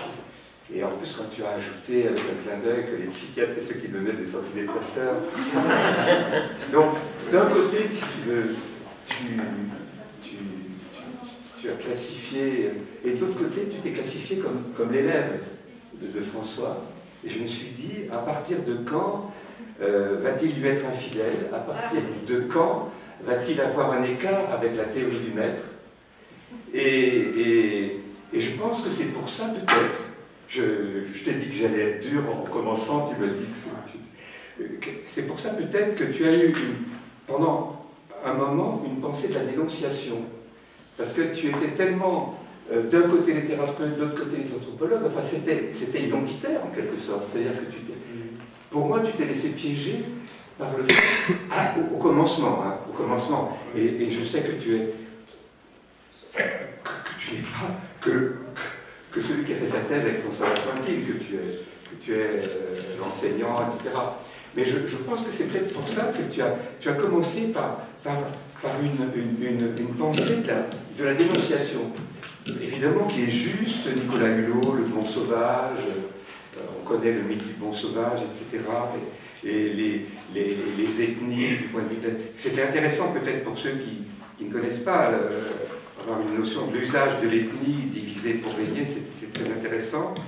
J'ai commencé de, de, rentrer dans ce que tu disais à un niveau euh, d'intérêt euh, personnel quand, tu, as parlé de ce que les étudiants t'amenaient comme objet. Là, je pense que c'est vraiment intéressant euh, ce qui, ce t'avait comme objet, ça, mériterait d'être euh, d'être pris de près, euh, la différence entre, les racines et l'ancrage. Je ne me souviens plus comment s'appelle ce, penseur antillais qui, est connu comme qui, a fait la différence entre entre, entre le, les, les, origines et l'ancrage, les racines et l'ancrage. Glissin Non, non, non. Chamoiseuse. Qui Chamoiseuse. J'ai un oubli total, je suis un peu fatigué ces temps-ci, mais c'est un, un nom qui est. C'est Césaire. Aimé Césaire, qui fait la différence entre, entre les racines et l'ancrage. Qui suis-je maintenant euh, Qu'est-ce qui émerge maintenant Etc. Alors, moi, je, voudrais euh, amener une contribution quand, à partir de, ce que tu as amené de, de La raison est un pouvoir de pensée qui est excessif en son essence même, euh, parce qu'elle est un pouvoir de penser la totalité comme telle, tout le possible, tout ce qui est en droit pensable, par opposition à ce qui est simplement donné en fait. Et je me suis rendu compte que les, différences qui avaient été pointées en François et moi, on pouvait les retrouver chez, euh, Fernando Pessoa, et bon, les, les Portugais disent Pessoa, euh, qui a tout de même écrit le livre de l'intranquillité. Et euh, en fait, euh, pour tout dire, j'ai une patiente qui est portugaise, qui m'a donné un petit livre, Anthologie essentielle de Fernando Pessoa. Ça m'a amené à, relire certaines de ses œuvres. Et je me suis dit, ben voilà, ce, qui est en jeu dans, dans ce séminaire, d'un certain point de vue, c'est ceci. Tu as parlé de l'antre beaucoup. L'antre, pour soi, c'est l'intervalle. Il parle beaucoup de l'intervalle, il parle de l'intervalle entre lui et lui, entre lui et les autres. Et dans tout le livre de l'intranquillité, cet intervalle est néant. Et en fait, il fait une théorie apophatique, un humanisme apophatique. L'humain est néant parce qu'il est dans l'intervalle, et cet intervalle est rien. Et, rien est, que pure sensation. Et on trouve ça dans euh, Le gardeur de troupeau, qui est un de ses poèmes païens, où il dit « Je suis un gardeur de troupeau, le troupeau ce sont mes pensées, et mes pensées sont toutes des sensations. Je pense avec les yeux, avec les oreilles, avec les mains, avec les pieds, avec le nez, avec la bouche. Penser une fleur, c'est la voir et la respirer, et manger un fruit, c'est en savoir le sens. » Donc on est en dehors des catégories, on est dans la sensation euh, pensée, mais en, fait, euh, c'est un auteur qui n'est pas angoissant du tout, mais qui nous donne euh, l'idée du vide, euh, de l'intervalle. Et puis, il a d'autres parties de son œuvre, même dans la troisième édition. Dans la troisième édition. Alors, je pense que c'est cet aspect multiple, la pensée du fragment, que tu rappelais, qui, dit là, je suis le gardeur de, mes pensées, mais les pensées c'est mes troupeaux, et il y a une pensée pour une fleur, il y a une pensée pour un arbre, et les pensées, le, troupeau, il n'est pas rassemblé vraiment, c'est un troupeau. Mais euh, dans la troisième édition du livre de la tranquillité, il parle de Notre-Dame du silence, où l'intervalle est vécu comme un silence vivant, comme la mère nature, comme Gaïa, comme, comme, euh, euh, comme, comme, la nature naturante, comme comme la déesse, comme toutes les déesses féminines hindouistes, etc., qui sont des, des, entités pleines. Et, en fait, dans sa vie, Psoa a loupé quelque chose, tout en étant un des plus grands écrivains du siècle. D'un côté, il a eu cet intervalle vide, le livre de la tranquillité, etc. Et de l'autre côté, il a été obligé, pour avoir quelque chose de vivant dans cet intervalle, d'être dans l'ésotérisme. Et il a étudié, il a des textes, il a des poésies. J'ai amené par exemple ces poésies, ces poèmes ésotériques, la théosophie, les rose-croix, la franc-maçonnerie, l'occultisme du 19e et de la première moitié du 20e siècle, etc., où il faut être initié pour comprendre l'intervalle. Et c'est un homme dont le drame humain a, été de ne pas pouvoir tenir euh, une unification par l'intervalle vivant et un éparpillement accepté par l'intervalle vide. Et je, pense que ce, qui est, en jeu, dans, une des choses qui est en jeu entre nous, c'est que euh, la, théorie métisse, disons, amenée, au départ par François et par toi, c'est justement, c'est une pensée, une pensée du fragment, une pensée du refus de la totalité, qui est extrêmement euh, rafraîchissante. Et en même temps, par exemple, ce que j'ai amené la dernière fois, à partir de cette expérience du, centre de la Marguerite, c'est une pensée qui, qui est une expérience dont, dont, parle à certains moments, comment on peut avoir de la sympathie pour tout ça, cette sympathie rassemble, il y a une intuition, il y a une pensée, etc.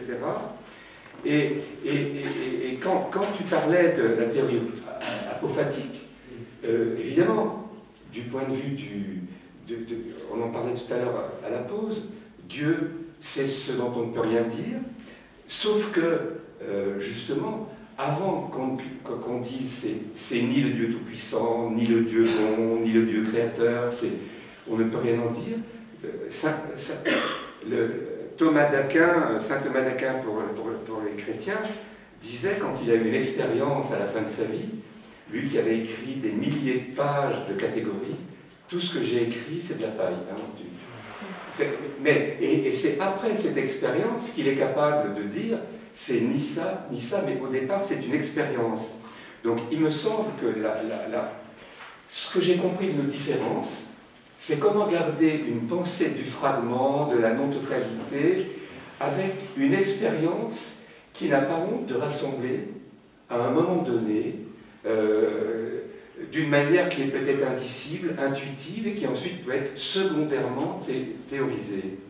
Euh, pour, prendre les catégories, ça, c'est une chose que j'ai compris, euh, que, j'ai compris, et, je pense que le, drame de Psoa, qui, a beaucoup souffert dans sa vie et qui était un homme profondément seul, profondément isolé, en même temps que très engagé, c'est qu'il avait d'un côté les fragments et l'intervalle vide, et de l'autre côté euh, une pensée de l'initiation, de l'intuition presque mystique. Euh, au-delà de Dieu, il a fait des poèmes, Dieu au-delà de Dieu, comme Maître Eckhart. Mais entre les deux, entre l'intervalle vivant et l'intervalle vide, il, n'y avait pas de pensée. Je me dis, est-ce que la pensée métisse, ça ne serait pas cette pensée entre l'intervalle vivant et l'intervalle vide Pour. C'est quelle heure Ça va, j'en trois minutes pour, euh, parce qu'il faut que, ensuite, je vous rende la parole, pour euh, dire en quoi la, pensée de la catégorie est à la fois nécessaire et dangereuse. C'est vrai par rapport à la psychiatrie, euh, classifier un malade, c'est dire un schizophrène, c'est embêtant. Dire une personne, penser que c'est une personne actuellement avec les données actuelles de la science et pour essayer de donner une idée thérapeutique. On peut dire que le processus est schizophrénique, c'est une autre chose, et, euh, qu'au fond, euh, euh, les, catégories, c'est pour nous aider à, aider. Pour dire que c'est tellement vrai, depuis Kraepelin, Bleuler, etc., lors du dernier DCM, qui est le DCM5 maintenant, la classification américaine, à une voix près, les collègues américains ont décidé de ne pas supprimer la schizophrénie, à une voix près. Mm. Donc on voit la, solidité du concept de schizophrénie. À une voix près, on voulait dire des choses uniquement en fonction des données cérébrales, neuroscientifiques, etc. Et c'est par rapport aux usagers, etc., des usagers qui s'identifient comme schizophrènes, etc., qu'ils euh, ont décidé de garder la catégorie. Donc la catégorie, euh, elle n'est pas essentialisante.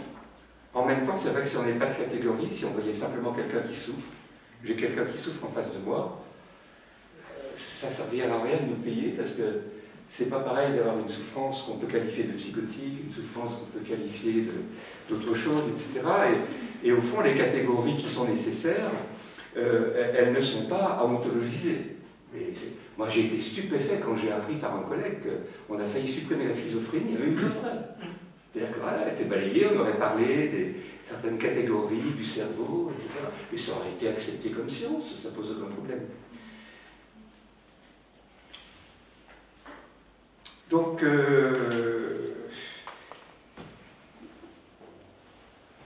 il y, a des tas de choses qu'on aurait pu reprendre sur ce que tu as dit sur la, question de la réalisation de soi, qu'on ne peut pas se réaliser soi-même, qui est une manière... Euh, bon, on ne peut pas reprendre tout ce que tu as dit. Euh, moi, j'aimerais bien que... Et, puis, quand tu as parlé de l'idem, quand tu as parlé de l'idem, euh, je suis le même, euh, appartenance, j'ai pensé à refaire aussi la différence entre l'idem et l'IC. Hein. C'est-à-dire être le même et être soi comme personnalité dans, son histoire. Bon, moi, moi c'est surtout ce que, ce que je voulais dire. Euh, je te remercie de m'avoir énervé. Parce que je pense que. C'était avec plaisir. et, donc, voilà, on peut discuter maintenant, justement, à partir de ce qui vous vient, parce que j'ai trouvé que beaucoup de choses qui étaient dites, euh, euh, soit dans la discussion, soit quelquefois après la discussion, euh, étaient extrêmement intéressantes. quelquefois, c'est en partant que tel ou tel d'entre vous dit Ah oui, à propos, j'ai pensé à ça, etc. Il y a vraiment des pensées qui viennent. Hein, donc allons-y, les, pensées qui vous viennent. Est-ce que je peux ah, Bien sûr, bien sûr. je te rejoins tout à fait sur la différence thérapeute-anthropologue. Tu as bien raison de la, de la souligner. Euh, en fait, euh, quand je me suis placé en. Quand j'ai rappelé que j'étais étudiant de François, euh, c'était surtout parce que j'aime bien parfois l'idée d'être le lecteur de quelqu'un et, et, de faire ressortir ce qui est inspirant dans sa pensée. Et, et donc c'est pour ça que à partir de certaines, de certaines choses, j'ai essayé d'envisager des, prolongements. J'ai un gros défaut euh, qui fait que je ne suis pas très très universitaire, c'est que je ne retiens pas ce qui ne me plaît pas. je retiens que ce qui me plaît. Voilà. C'est peut-être une. Tu pourras peut-être faire quelque chose pour moi. Euh, Fernando Pessoa, pour moi, le livre de l'intranquillité, c'est l'un des plus grands livres du XXe siècle. C'est sûr. Euh, c'est une écriture magnifique qui nous montre combien, les auteurs littéraires sont parfois beaucoup plus fins au niveau de la description de l'existence humaine que les anthropologues. Euh, c'est une écriture extrêmement nuancée qui laisse droit à l'émotion, à la sensation, et qui, laisse droit à la rêverie. Et ça, ça me semble fondamental. Fernando Pessoa, je me souviens juste d'un passage du livre de l'intranquillité où il fait une promenade en bord de mer. On ne sait rien de sa promenade, et, et, par contre, on va être baigné d'un sentiment océanique, c'est-à-dire qu'il arrive à parler de, de, ces mouvements intérieurs comme étant quasiment les vagues de l'océan. Et, euh, je, trouve ça d'une très, grande, très grande finesse, en fait, Pessoa. Euh, tu as parlé aussi beaucoup de théologie apophatique. La théologie apophatique, c'est aussi évidemment Denis l'Aréopagite, euh, pour lequel le sommet de la connaissance de Dieu, c'est le, le silence. mais c'est un silence qui n'est pas c'est un silence qui est, très créatif. d'autres, d'autres, c'est pas un silence de, de stupéfaction de, ou de foudroiement. C'est de... pas du tout. Non, non, c'est pas ça. c'est, la constatation qu'on ne rejoindra jamais ce que l'on comment dire, que l'on n'arrivera jamais à rendre compte finalement d'une expérience mystique, pour le coup, qui dépasse, euh, voilà, qui dépasse euh, ce que l'on peut en dire. Euh, et, et, pour d'autres mystiques, d'autres mystiques vont parler de la nuit obscure, du nuage d'inconnaissance. Mais par contre, s'ils ne peuvent plus trouver, s'ils ne, ne, ne peuvent plus parler de Dieu, pour les mystiques, ils parlent de l'expérience qu'ils en font. Et ça, je trouve ça euh, très inspirant euh, pour, euh, pour toute pensée qui s'attache à comprendre quelque chose de l'homme. La mort, par exemple, on ne peut pas parler de la mort, mais par contre, on peut parler de l'expérience du désarroi face à la mort, etc. On peut parler d'une expérience d'espérance, etc. Donc, moi, j'aurais tendance à ramener, mais ça, c'est aussi l'un des aspects de, l'anthropologie que j'affectionne, au, centre de la réflexion, l'idée d'expérience. Je ne vais pas trop continuer pour qu'on ait le temps de, de débattre. D'accord, débattons.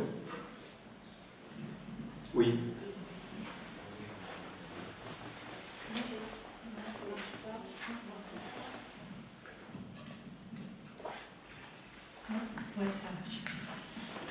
Ça en vous écoutant, j'ai plusieurs questions qui, me sont venues en tête. Tout d'abord, celle de l'authenticité. Et du coup, je me suis demandé si je savais ce que c'était l'authenticité. Parce que moi, j'avais plutôt euh, l'idée que c'était quelque chose qui était de l'ici et de maintenant. Donc, qui n'avait rien à voir avec une dimension euh, identitaire ou chronologique. Donc voilà, du coup, je me suis dit peut-être que j'avais une mauvaise définition, peut-être que j'en ai une différente. Et puis du coup, après, quand vous avez rattaché l'authenticité, vous avez dit quelque chose comme euh, euh, une quête des racines ou quelque chose comme ça. Alors je me suis dit, est-ce que l'identité c'est une quête des racines ou est-ce que... Enfin moi j'ai plutôt la métaphore d'un navire qui navigue entre différentes euh, zones, parfois des zones troubles, parfois où il y a pas mal de vent, donc on est plutôt content. Voilà, donc ça c'était plutôt une des questions. Et ensuite, j'avais aussi une autre, question, une autre chose qui m'est venue en tête concernant la catégorisation. Et ça m'a fait penser en fait à la nomination. Parce qu'on dit souvent que la catégorisation divise. Et c'est vrai que quand on prenait l'exemple de quelqu'un, quand on le définit comme schizophrène, on définit juste sa pathologie, mais on ne nomme pas, on ne dit pas qui il est. On ne dit pas toutes ses aspirations, enfin dans ce sens-là. Et je me disais que parfois il y avait des nominations qui permettaient en fait de, de dire plusieurs choses et parfois contradictoires d'une même d'une aspiration. Voilà, si je fais. Voilà. aussi, peut-être j'avais une, autre comme ça question qui m'est venue en tête concernant la complétude de l'objet. Je me demande si parfois on, n'a pas l'illusion de croire qu'il y a des sciences qui arrivent, qui cherchent la complétude. Et puis du coup, ça me faisait référence à Georges Devreux qui parle de la complétude, mais pas dans, une, pas dans le terme de quelque chose qui complète, mais dans quelque chose qui serait euh, euh, des abords différents de pensée, pour pouvoir euh, tenter d'approcher l'objet.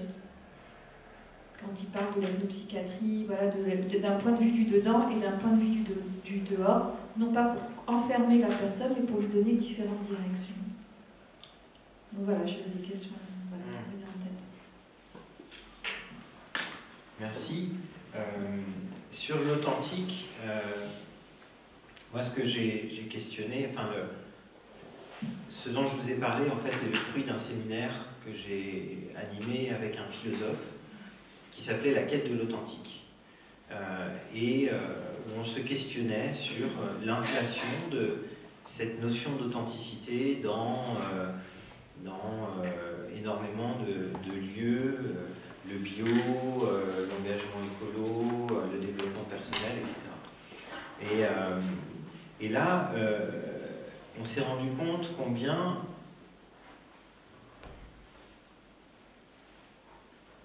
comment dire? C'est un peu bizarre. Euh, si on cherche à, être authentique, quelque part on l'est plus. C'est-à-dire que l'authentique, c'est bizarre, l'authenticité se fait dans le, dos de la quête de l'authentique. Vous voyez ce que je veux dire? Euh, Donc c'était cette idée-là qu'on cherchait à déconstruire. Euh, il ne s'agit pas par là de nier toute recherche de vérité, etc. Euh, mais il s'agit de montrer combien ce mot peut amener à des dérives euh, quand on, quand on le, place dans la sémantique de la vérité, c'est moins flagrant, mais l'authentique, c'est aussi le pur et l'impur. Et là, on voit très rapidement les dérives auxquelles on peut arriver. L'authentique vient souvent comme jugement de valeur. Euh, on voit par exemple au niveau de l'industrie du tourisme combien elle s'empare de cette notion d'authenticité. Vous allez vivre des vacances authentiques et vous allez finalement voir des gens qui jouent leur propre vie. Donc vous voyez combien, combien finalement dans cette quête de l'authentique, c'est quelque chose de factice. Voilà. Euh, c'est pour ça que je dis que l'authentique se joue dans peut-être se, donne par surcroît, un peu comme euh, Lacan disait de la guérison. L'authentique se donne par surcroît. Euh, sur l'identité, l'identité, vous avez raison, c'est ce bateau qui. C'est très flottant, l'identité. L'identité, on a l'impression que c'est ce qui est de l'ordre de l'essence, mais ça, c'est pas l'identité, c'est l'identitaire. Euh, l'identité, elle est fluctuante, c'est ce que disait, euh, Galisso euh, quand il parlait de synthèse du moi, mais c'est une synthèse qui n'est jamais finie, qui est toujours à refaire. Hein. C'est un récit qui, n'est jamais fini, l'identité. la catégorisation comme, comme nomination, vous avez pris l'exemple du schizophrène, moi je me demande là si il ne s'agit pas plutôt d'une assignation que d'une nomination. Et c'est là le risque, c'est d'assigner les personnes finalement aussi à correspondre euh, au groupe dans lequel on les range, au type dans lequel on les range. Voilà, j'ai répondu. Euh, je ne sais pas si j'ai répondu à vos interrogations. Oui, je vais rajouter quelque chose. Est-ce que dans notre ère de civilisation, l'Occident, il y a une part de la, du sentiment d'authenticité qui ne vient pas du christianisme? Et de quel christianisme? Je crois plutôt du protestantisme. est-ce que la. Est-ce que euh, authenticité, tu peux le lier à sincérité? Alors je pense vraiment à Rousseau. Hein. je pense. Euh, je pense vraiment à cette entreprise inouïe des confessions. Et là, il n'y a pas du tout de Racine. Ça ne va pas avec Racine. Rousseau dit Je suis citoyen de Genève, je suis cosmopolite, on n'est pas dans les racines. Tu connais, tu sais, tu te souviens ce qu'il dit euh, Romain, je zigzag, Romain Gary dit c'est sale, les racines. Euh, et alors évidemment, ces racines, ça ne va pas du tout avec métissage. C'est là où il faut euh, se référer à Gilles Deleuze, hein, qui oppose le rhizome aux racines, c'est-à-dire le rhizome, c'est-à-dire comme quand vous plantez des fraisiers, c'est des racines qui vont à la rencontre d'autres racines, donc il y a plusieurs. Et surtout dans le métissage, on n'est pas dans ça, on n'est pas dans l'origine, on est, on l'a dit plusieurs fois, dans le devenir, hein, dans le mouvement de transformation.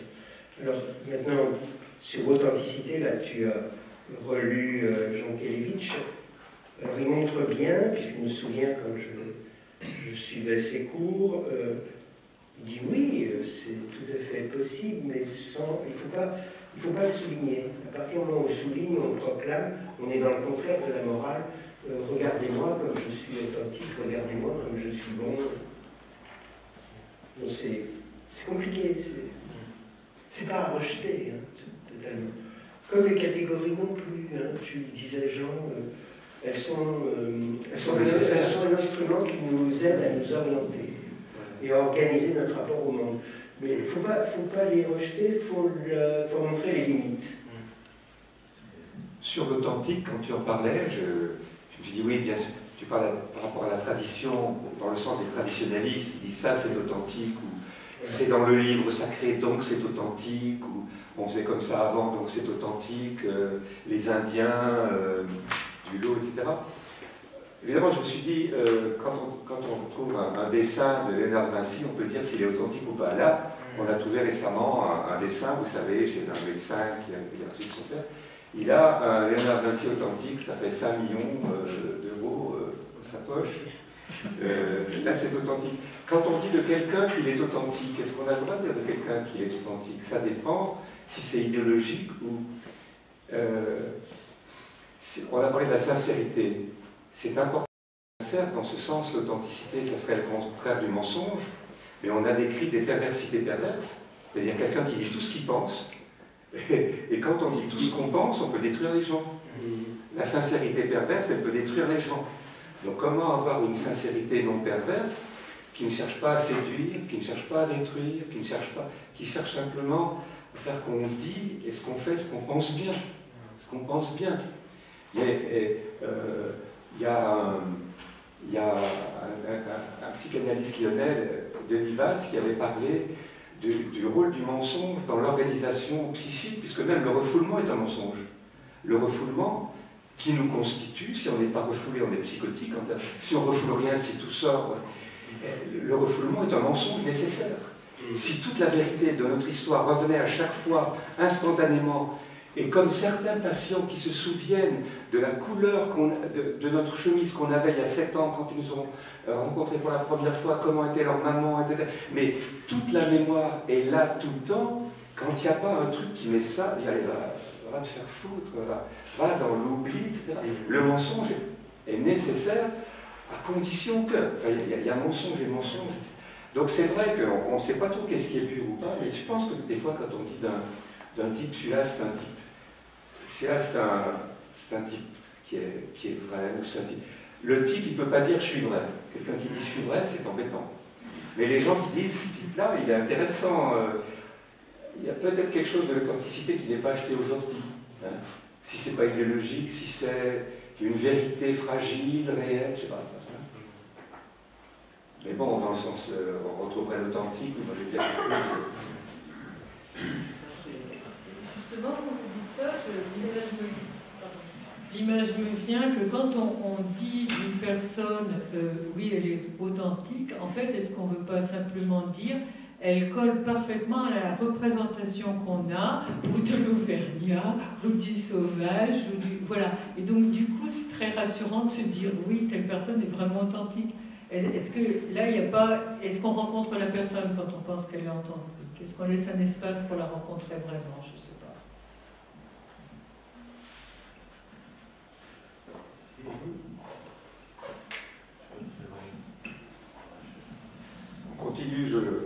c'est une question. Je, juste, là, là, vous dites authentique dans le sens, est-ce qu'elle elle est représentative?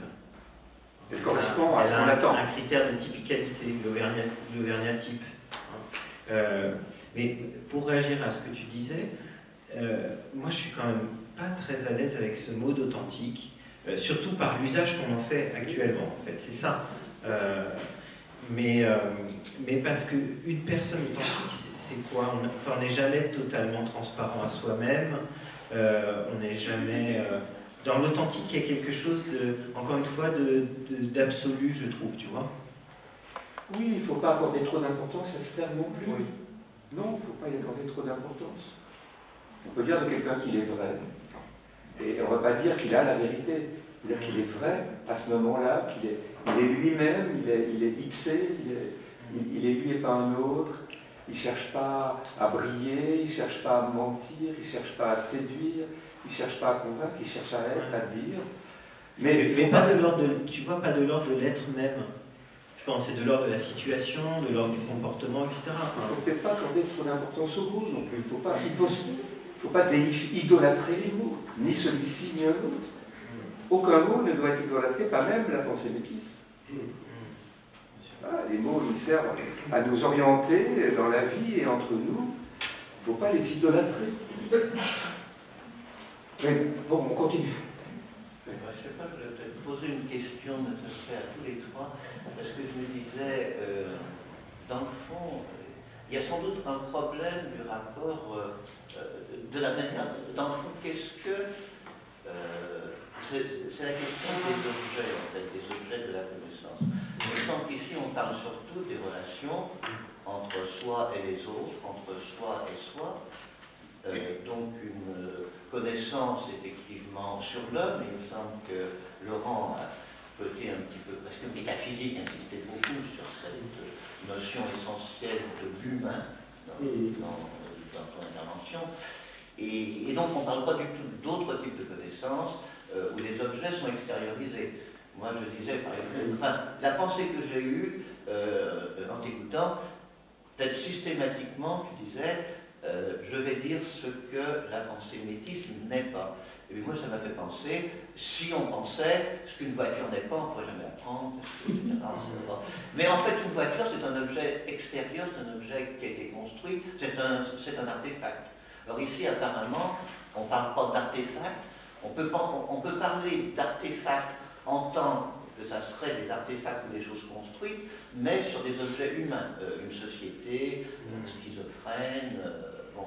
Mais c'est vrai qu'on n'est pas du tout, on n'est pas du tout euh, dans la pensée, dans la pensée physique, dans la pensée chimique, dans la, alors peut-être que Jean fait un petit peu le lien entre ces, mais c'est vrai que dans le fond, le fait que vous soyez anthropologue, les deux, ici la pensée métisse se rapporterait essentiellement à la pensée sur l'humain sur l'humain, euh, est-ce que c'est moi, les autres, est-ce qu'il y a un entre, euh, entre les deux, entre, entre moi, entre, euh, je me suis dit, en fond, je n'avais pas pris conscience que les objets dont il est question ici, c'est les sociétés humaines, c'est l'humain, c'est la manière dont l'humain se pense par rapport à d'autres humains.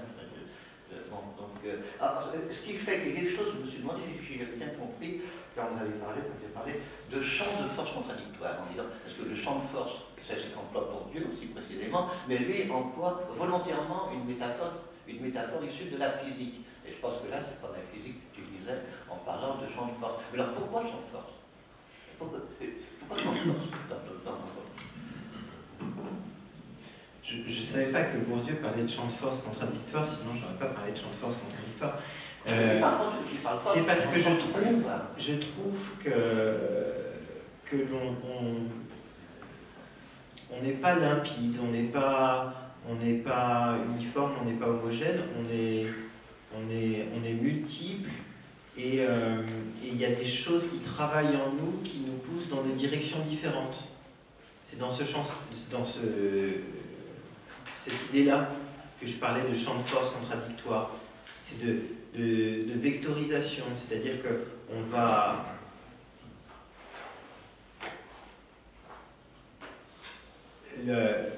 je, trouve que l'homme est rarement, euh, est rarement euh, visible à lui-même, euh, limpide à lui-même. Il est, vraiment nuancé, il vraiment... C'est Dostoïevski cette histoire. Mais quelles sont les forces que l'on c'est les personnages de Dostoïevski qui sont, qui sont travaillés par par des religieux, par des, sentiments religieux très forts, et puis par le matérialisme de l'époque, et puis euh, et puis par le bien, et puis par le mal, et puis ils espèrent le bien, et puis ils font le mal. C'est en fait quand je dis champ de force, c'est une manière de, mais peut-être maladroite, de dire que, enfin ce, ce que je souhaiterais dire, c'est de voir que l'humain m'apparaît comme fondamentalement paradoxal mais il n'est pas uniquement paradoxal a posteriori dans sa manière de justifier euh, ce qu'il euh, ce fait, dans ce, qu'on appelle en sociologie l'impératif de justification, mais, euh, mais qu'il est, est paradoxal parce qu'il se laisse travailler par l'existence et que l'existence le travaille dans des forces qui ne sont pas. Et l'individu est dans un champ, le champ, il est caractérisé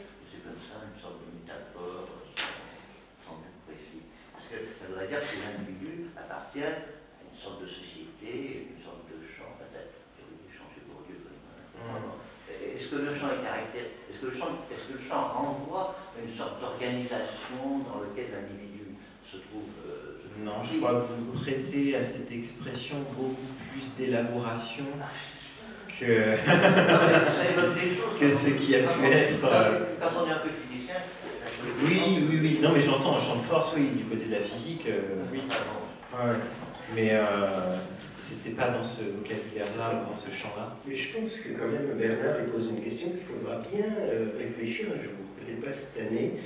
C'est une pensée mimétisse qui ne soit pas euh, anthropomorphique. C'est le métissage dans la science. Il peut y avoir du métissage dans la physique. Chez Einstein, dans le principe d'incertitude de Heisenberg, est-ce qu'il existe une, une pensée métisse euh, hors des sciences humaines, de la littérature et de l'art? Je crois qu'un jour, il faudra. Ben, il ne peut peut-être pas, justement, il n'y a pas tous ces déplacements dans la pensée, y compris scientifique, c'est des points de métis. Quoi. Mm. Autrement. Oui, parce qu'elle change de modèle, elle se déplace. Non, là. Alors, euh, simplement, je, je, je, je pense que c'est assez juste tout de même de dire qu'on ne peut pas conduire une voiture si on dit ce qu'elle n'est pas. Si on dit qu'une voiture n'est pas un avion, un vélo et une trottinette, il faut tout de même accepter qu'une voiture est une voiture, même si elle est construite. Et je pense que c'est exactement pareil pour les catégories. Euh, on a des catégories, euh, c'est un patient, c'est pas un patient, c'est mon amour, c'est ma, ma femme, c'est ma, ma maîtresse, c'est mon ami, c'est mon patient, c'est mon docteur, si on dit mais non, c'est pas mon docteur, il appartient pas, c'est pas mon patient, il faut savoir, c'est pas mon mari, c'est pas, il n'est pas à moi, c'est pas ma femme. On utilise des mots qui catégorisent comme les voitures. Simplement, il ne faut pas idolâtrer, c'est-à-dire mettre à la place du Dieu non apophatique, c'est mettre à la place d'un Dieu absolu qui dirait tout à partir de ça. Malgré tout, euh, voilà, les humains des catégories comme les voitures, je dirais. Euh, mais mais euh, il ne faut, faut, pas en faire un plat. Mais, mais tu peux faire varier le langage. Oui. Si tu dis pas la même chose si tu dis une voiture ou une bagnole. Et si tu dis ma femme ou ma bonne femme, tu dis pas pareil, ou mon mari ou mon homme, ou mon amoureux. Oui, bien sûr. Mais c'est des catégories, ça aussi. Oui. Nadine, euh, je voudrais, après, euh, mais euh, effectivement, la, réflexion est très euh, axée sur l'anthropologie. Malgré tout, la, une voiture n'est pas un homme, un homme n'est pas une voiture. Et moi, ce qui me semble important dans cette approche apophatique, c'est de laisser exister l'humain comme énigme pour l'humain. C'est ça qui me semble, qui me semble stimulant dans la pensée.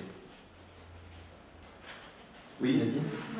Là, en vous écoutant, en fait, en vous Attends, ah, ah, pour qu'on puisse en profiter. En vous écoutant euh, et en suivant depuis longtemps euh, toutes ces réflexions sur les, processus métis, je suis toujours frappée par, le, en quelque sorte, la jonglerie euh, et la subtilité de, la manipulation des mots et du langage.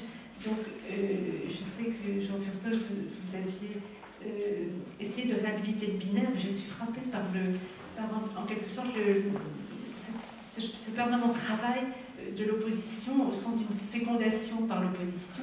C'est vrai que si on reprenait, si on faisait une étude stylistique de toutes les paroles et de beaucoup d'écrits euh, qui nous réunissent, on peut être frappé par, euh, par ce jeu de l'opposition en fait. Et du coup, moi, ça m'évoque irrésistiblement les travaux de ce que dit Georg Simmel à propos du pont et de la capacité mm. humaine à lier, délier.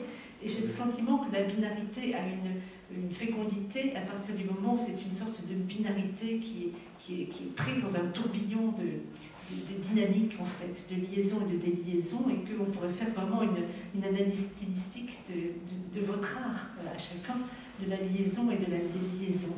Donc je, voulais un peu revenir euh, sur cette question du binaire et du ternaire, et, euh, puisque nous sommes en français qui est euh, héritier du latin et du grec, rien que le jeu des suffixes et des préfixes, j'ai eu l'occasion de travailler beaucoup la question d'interculturalité parce que j'ai été confrontée en essayant d'en défaire. En fait, je me suis vraiment amusée beaucoup à voir comment jouer sur les suffixes et les préfixes, en fait, et comme il y avait toute une ronde, en fait. Voilà. Donc je voulais un peu revenir sur la question de la langue, des mots pour le dire, parce que si on a la langue, on est, on dans, la langue, on a, on cette binarité d'autrui, en fait, avec laquelle on travaille.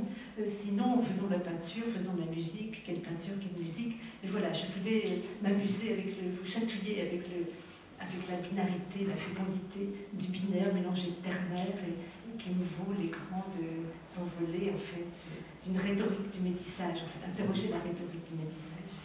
Oui. C'est peut-être impertinent, mais non, je suis de tout cœur. euh, C'est une magnifique rhétorique.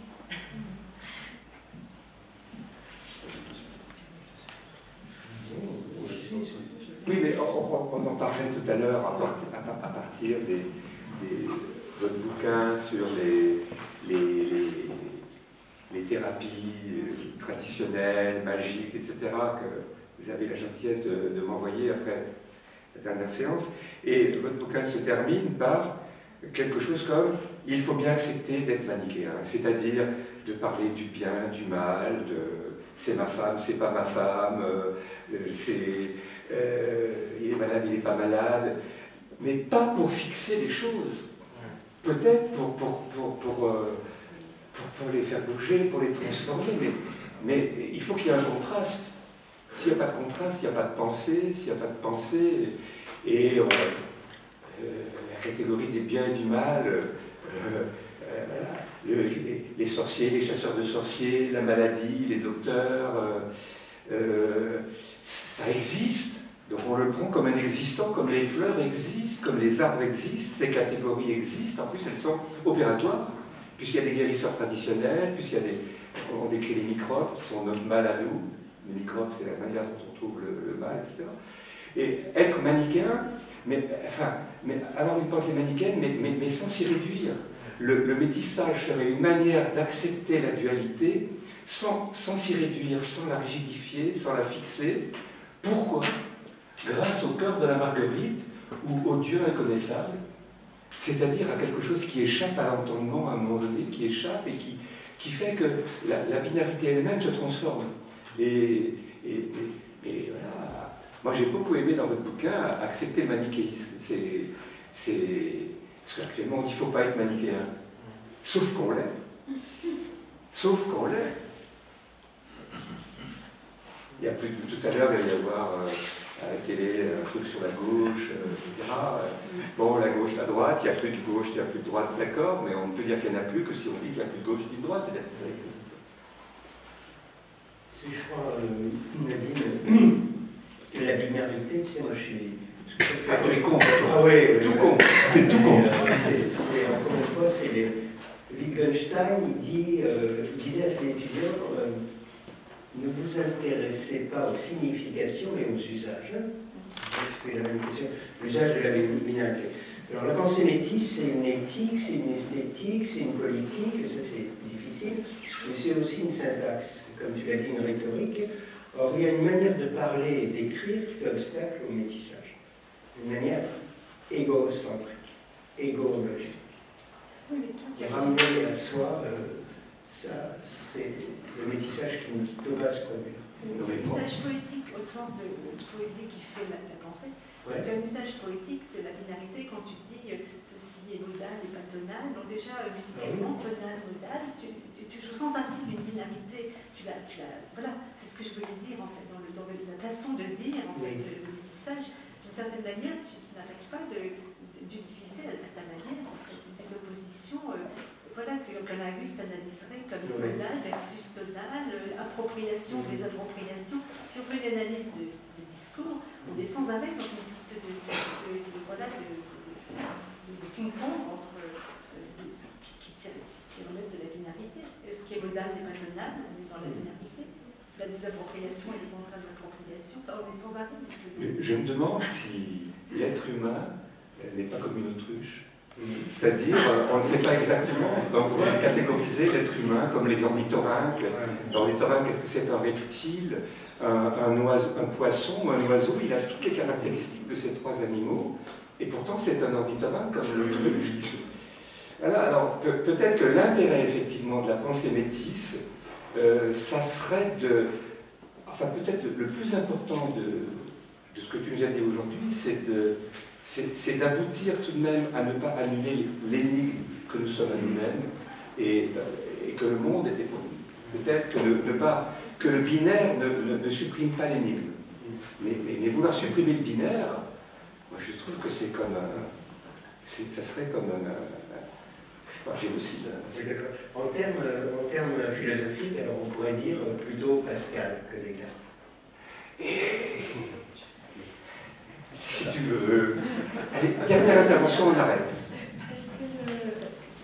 Est-ce que le, binaire, euh, euh, c'est pas. Enfin, est-ce qu'il n'y a pas une confusion entre binaire et, euh, et, différence C'est-à-dire que.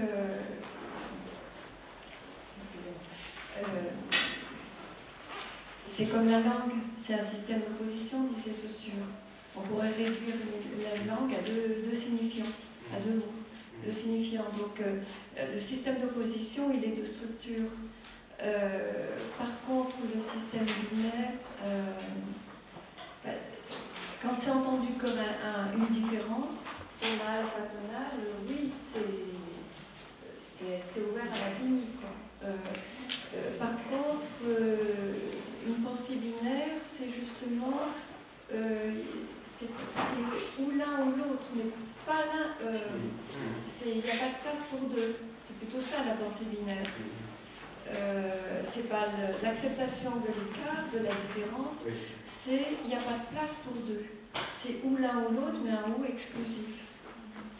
Et... Euh, juste, je pensais là tout de suite, mais, pas nécessairement, parce qu'il y y a le yin et le yang, qui sont dans une complémentarité, dans une opposition autre chose aussi, c'est euh, peut-être l'écart entre le dire et le dit, l'énoncé et l'énonciation. Quand vous disiez, euh, on ne peut pas dire euh, qu'on est authentique, sinon on n'est plus authentique. Ça m'a fait penser à une patiente qui me disait, une fois qu'elle me disait, ça c'est vrai, je ne croyais pas. Et oui, parce qu'on ne peut pas. on n'est plus dans, la, dans le, quelque chose de vrai si on le si on le met comme un énoncé, il faut que ça soit du côté de l'énonciation. Mm. Euh, c'est-à-dire que ça s'entend que quelqu'un est vrai, euh, dit vrai, mais on ne peut pas le dire que c'est tel énoncé qui est vrai. Mm. Euh, voilà, je crois que c'est... Alors, du coup, ça m'a interrogé sur l'écart peut-être entre diviser, vous avez employé ce mot diviser, et François a utilisé le terme de duplicité. Et pour moi, c'est différent. Alors, je ne sais pas là. Euh, je rappelle que le mot diabolique signifie diviser. Le, diabolique, c'est ce qui divise, comme diviser pour régner. Et le contraire du diabolique Symbolique. Symbolique. Oui, absolument. Et absolument. Mais on peut peut-être en rester là pour ce soir. Alors, je, vous rappelle que les, deux prochaines séances euh, font une, une, approche du religieux. La, prochaine séance aura lieu le 16 février avec euh, Georges Santiago et Marina Roujon.